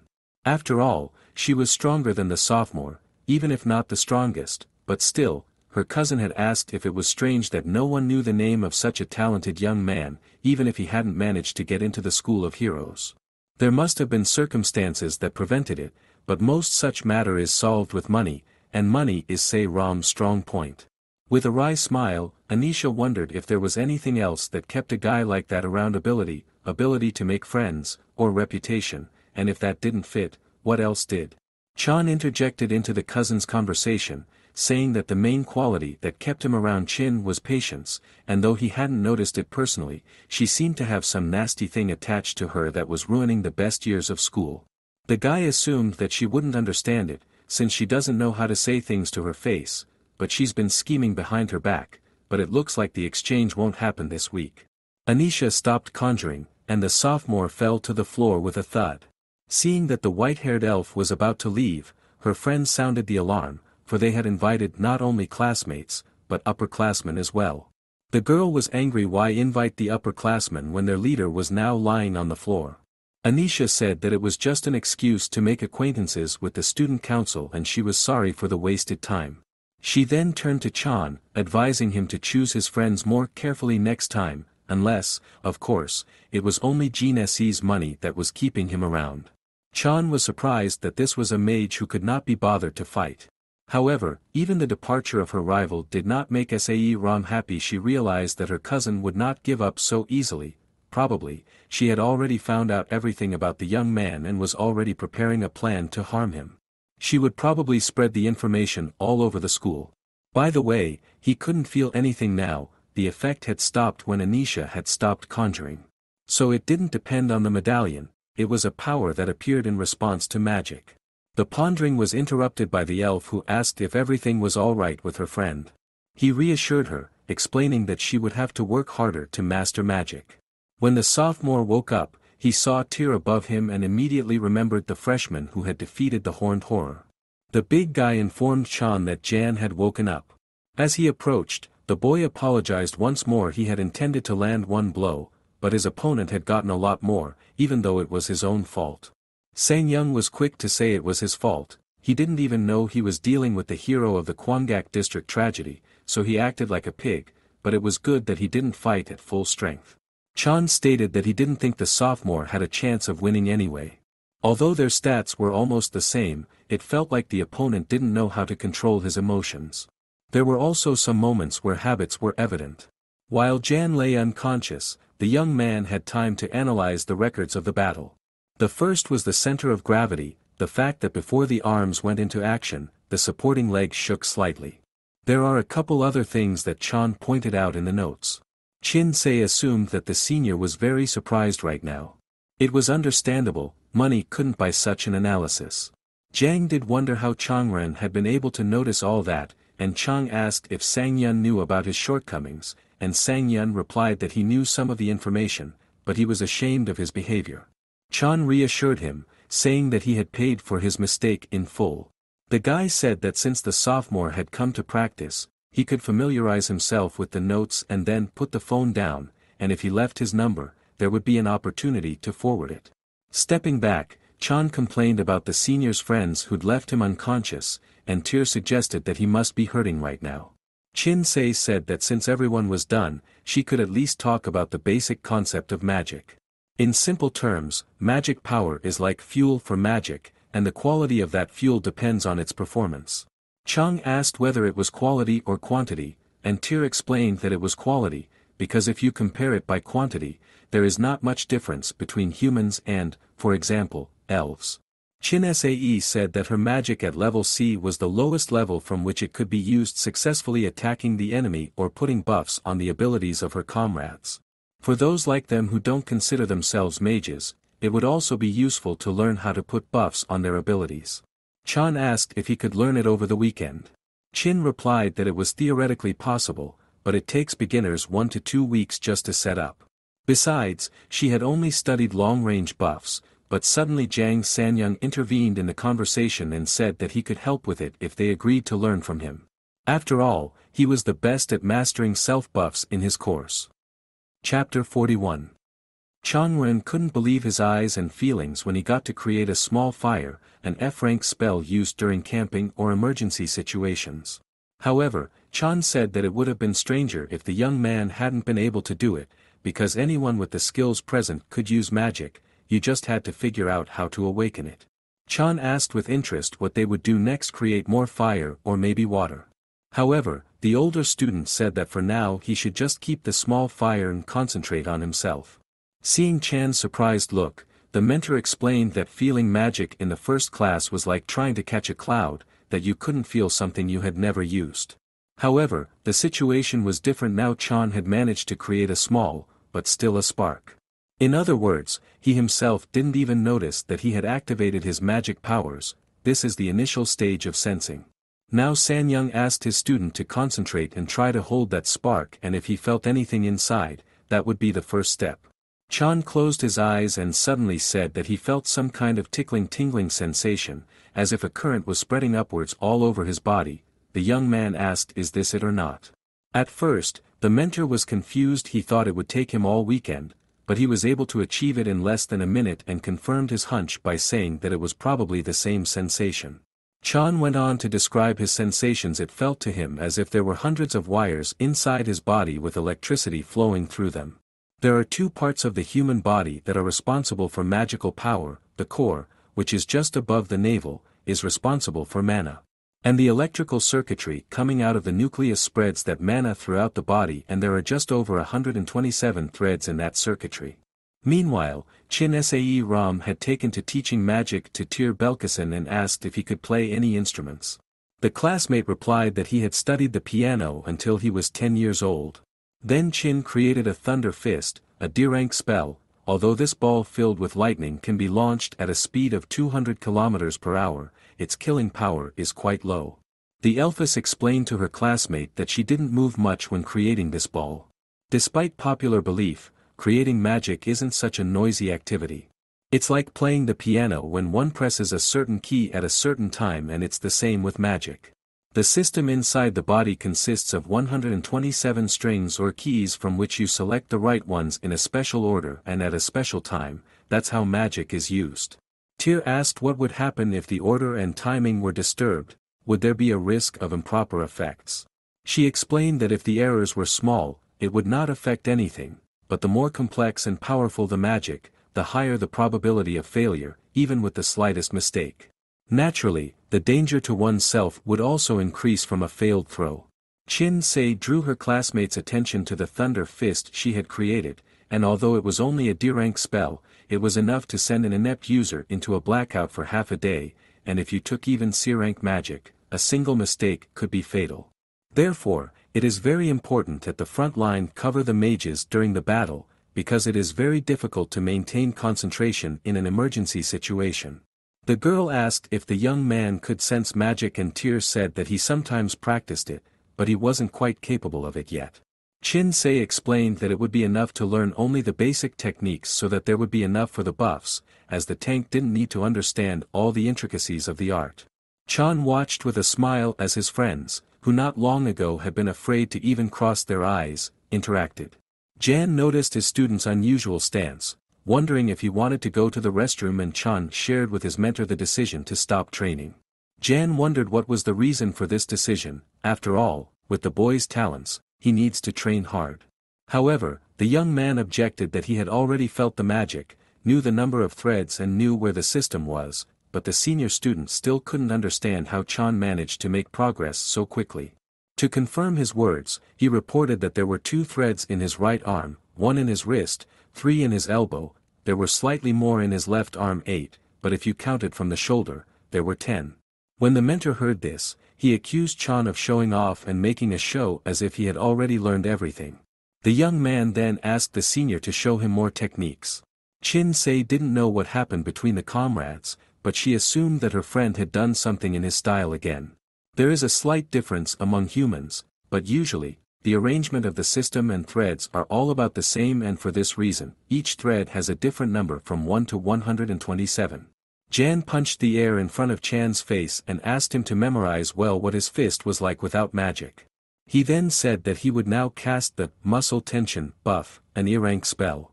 Chan struck again, but the speed and power had increased by leaps and bounds. Jang concluded that if the fist had reached its target, it would have been nothing short of a broken nose. San Young revealed that he was among the underclassmen in his freshman year. His physical attributes were top-notch, but he lacked the sense of how to properly utilize those attributes. But luckily, he had an aptitude for magic, so he discovered this amazing method, buffs. Jan often wondered if one buff gave such a wonderful effect, what would happen if you applied several at once. However, the others only learned two or three and stopped there, while Jang collected them by the dozens. As a result, by his second year, he managed to improve his grades and even became the team leader, but the other students from the faculty didn't take him seriously, believing that he was using cheap tricks. That was why he had gladly accepted Anisha's exchange offer, hoping that he could teach something to the younger ones, and that was why he was acting like an idiot. Suddenly, Chan tilted his head and apologized to the younger man for the behavior he had displayed when they first met. Jang grabbed his new buddy by the shoulders and told him to stop apologizing with words for 52 hours until Monday morning, he would look forward to a good lesson with his mentor. From the look on Jang Sanyang's face, one couldn't think he was happy about this, but there was no turning back now. Chapter 42 All four of them went outside. Chan took a deep breath of the fresh morning air and said it was just what they needed after three days of training and Chin Se said he sounded like some kind of uncle. She didn't expect them to make full use of the training center all weekend instead of sleeping. Then she looked at her friends, surprised at their cheerfulness. However, these three days had indeed turned out to be very valuable this kind of training, with them helping each other out, was proving to be very beneficial. Jan told Tyr that if they had been in the center, they could have caught up on a bowl of soup, it was a pity they didn't make it here.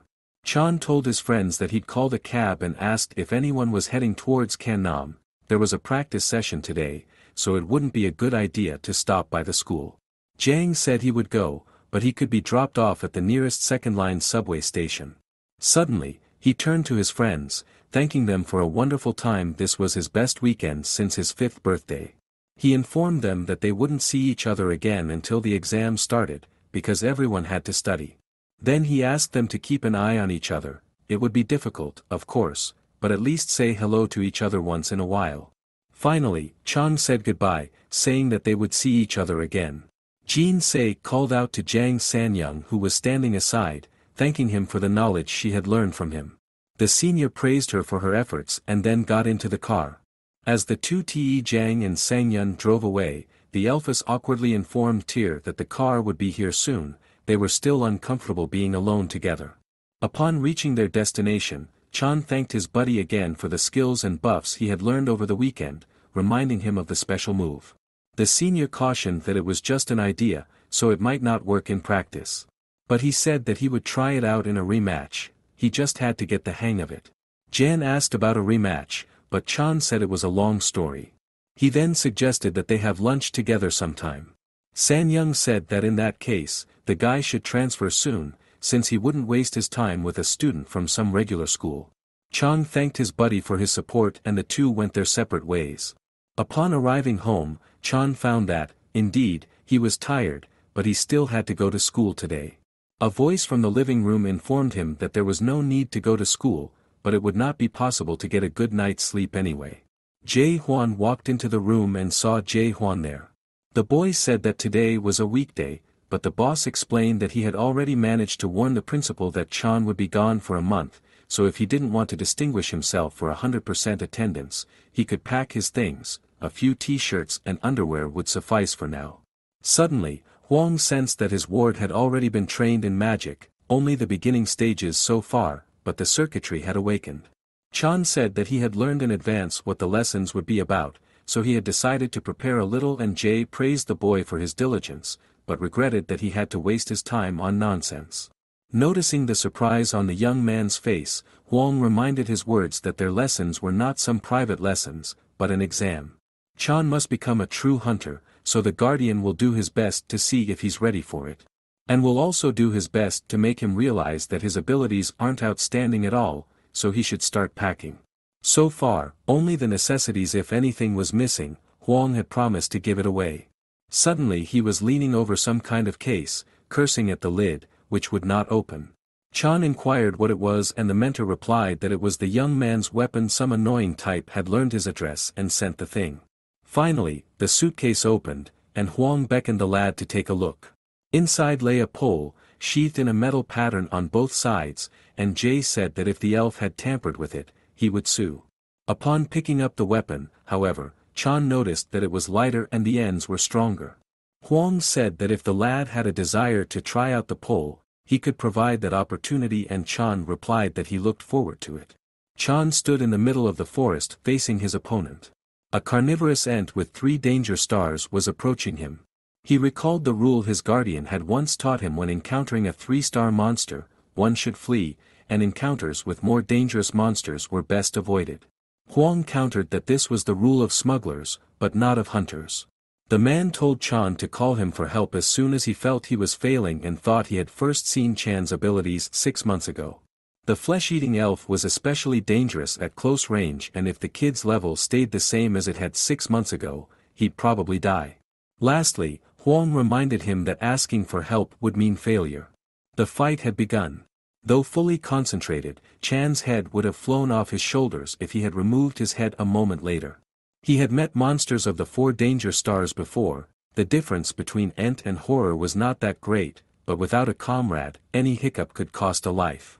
Therefore, it is necessary to destroy the enemy as soon as possible. The biggest difference between 3 and 4 stars is the intelligence level of the monsters.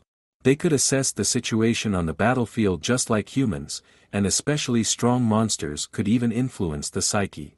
Chan realized that such a monster could not be penetrated by a needle.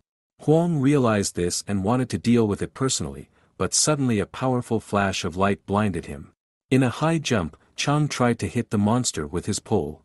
Chapter 43 Jay regarded the body of the defeated ant with amazement. He asked the equally surprised young man if he had activated the pole. Chan said he had only read a couple lines from the manual, so he didn't even fully understand how the weapon worked. The mentor then asked how his student was feeling right now. He replied that he was a little out of breath, but he couldn't say he felt very tired. Huang didn't feel any magical energy, most likely the guy was using physical power as a source. It was a rather old mechanism, no big deal, since you also needed to expend some of your strength and energy to maintain the weapon. However, the blow he had seen a few minutes earlier, the result of such power would definitely not be a simple puff of breath. Huang concluded that Chan was just lucky if he hadn't had that thing, the former ranker would have been taught a good lesson and the young man laughed, telling his mentor that this fight could be considered lost. The man informed him that he hadn't even hoped for a different outcome. He sat down in a tree and lit a cigarette, explaining that he didn't consider his mentee's abilities to be low, on the contrary, he had good qualities, with his combat power alone reaching the gold level. In all his time, Huang had met no more than a dozen hunters stronger than Chan, and all of them had died because of monsters that were below their rank. Suddenly, a huge elf rose from the ground, it seemed to have the ability to regenerate, healing most injuries. Chan stood in front of it, taking a fighting stance. Suddenly Huang jumped up from his seat, seeing the monster take up the exact same stance, only it didn't have a weapon in its hands. It seems that this monster has the ability to perceive a situation and adjust to it, and the incredible efficiency comes as a bonus. Seeing Chan throwing blow after blow in an unsuccessful attempt to find a weakness, Jay shouted that no matter how powerful the weapon was, it was impossible to defeat this opponent without understanding the basic method of attack, at least not in the time allotted. The mentor jumped down and covered the exhausted boy. Just in case, he asked if he was willing to end the fight and admit defeat. The young man asked what he should have done. After some thought, Huang replied that the best thing to do in such a situation was to run away. The apprentice asked to stop joking, but the man spoke in complete seriousness one had to escape from the enemy and lure him to a place where he could not regenerate. There were three ways in which one could defeat a carnivorous enthus. The first and most effective is to lure it to a place where it cannot absorb nutrients, so that as long as it is on the surface of the ground from which it feeds, it will regenerate without end. A good solution would be to lure the ant onto a cliff or into an abandoned building. However, Chan didn't do that, for he tried to defeat it with the only tactic he knew, find a weak spot and crush it. Suddenly, the monster broke through the barrier and rushed straight for his friends.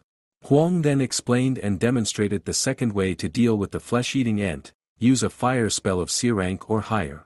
It sounds like nonsense, but this method makes the task much easier than the first one, but by the time Chang realizes it, the monster will create chaos around him. C-rank flames are much more difficult to summon than they sound, because it is impossible to do so with ordinary fire, and even an army bomb is no match for its power. Back in the days before good magic spells, many great hunters had fallen precisely because they didn't know how to fight them.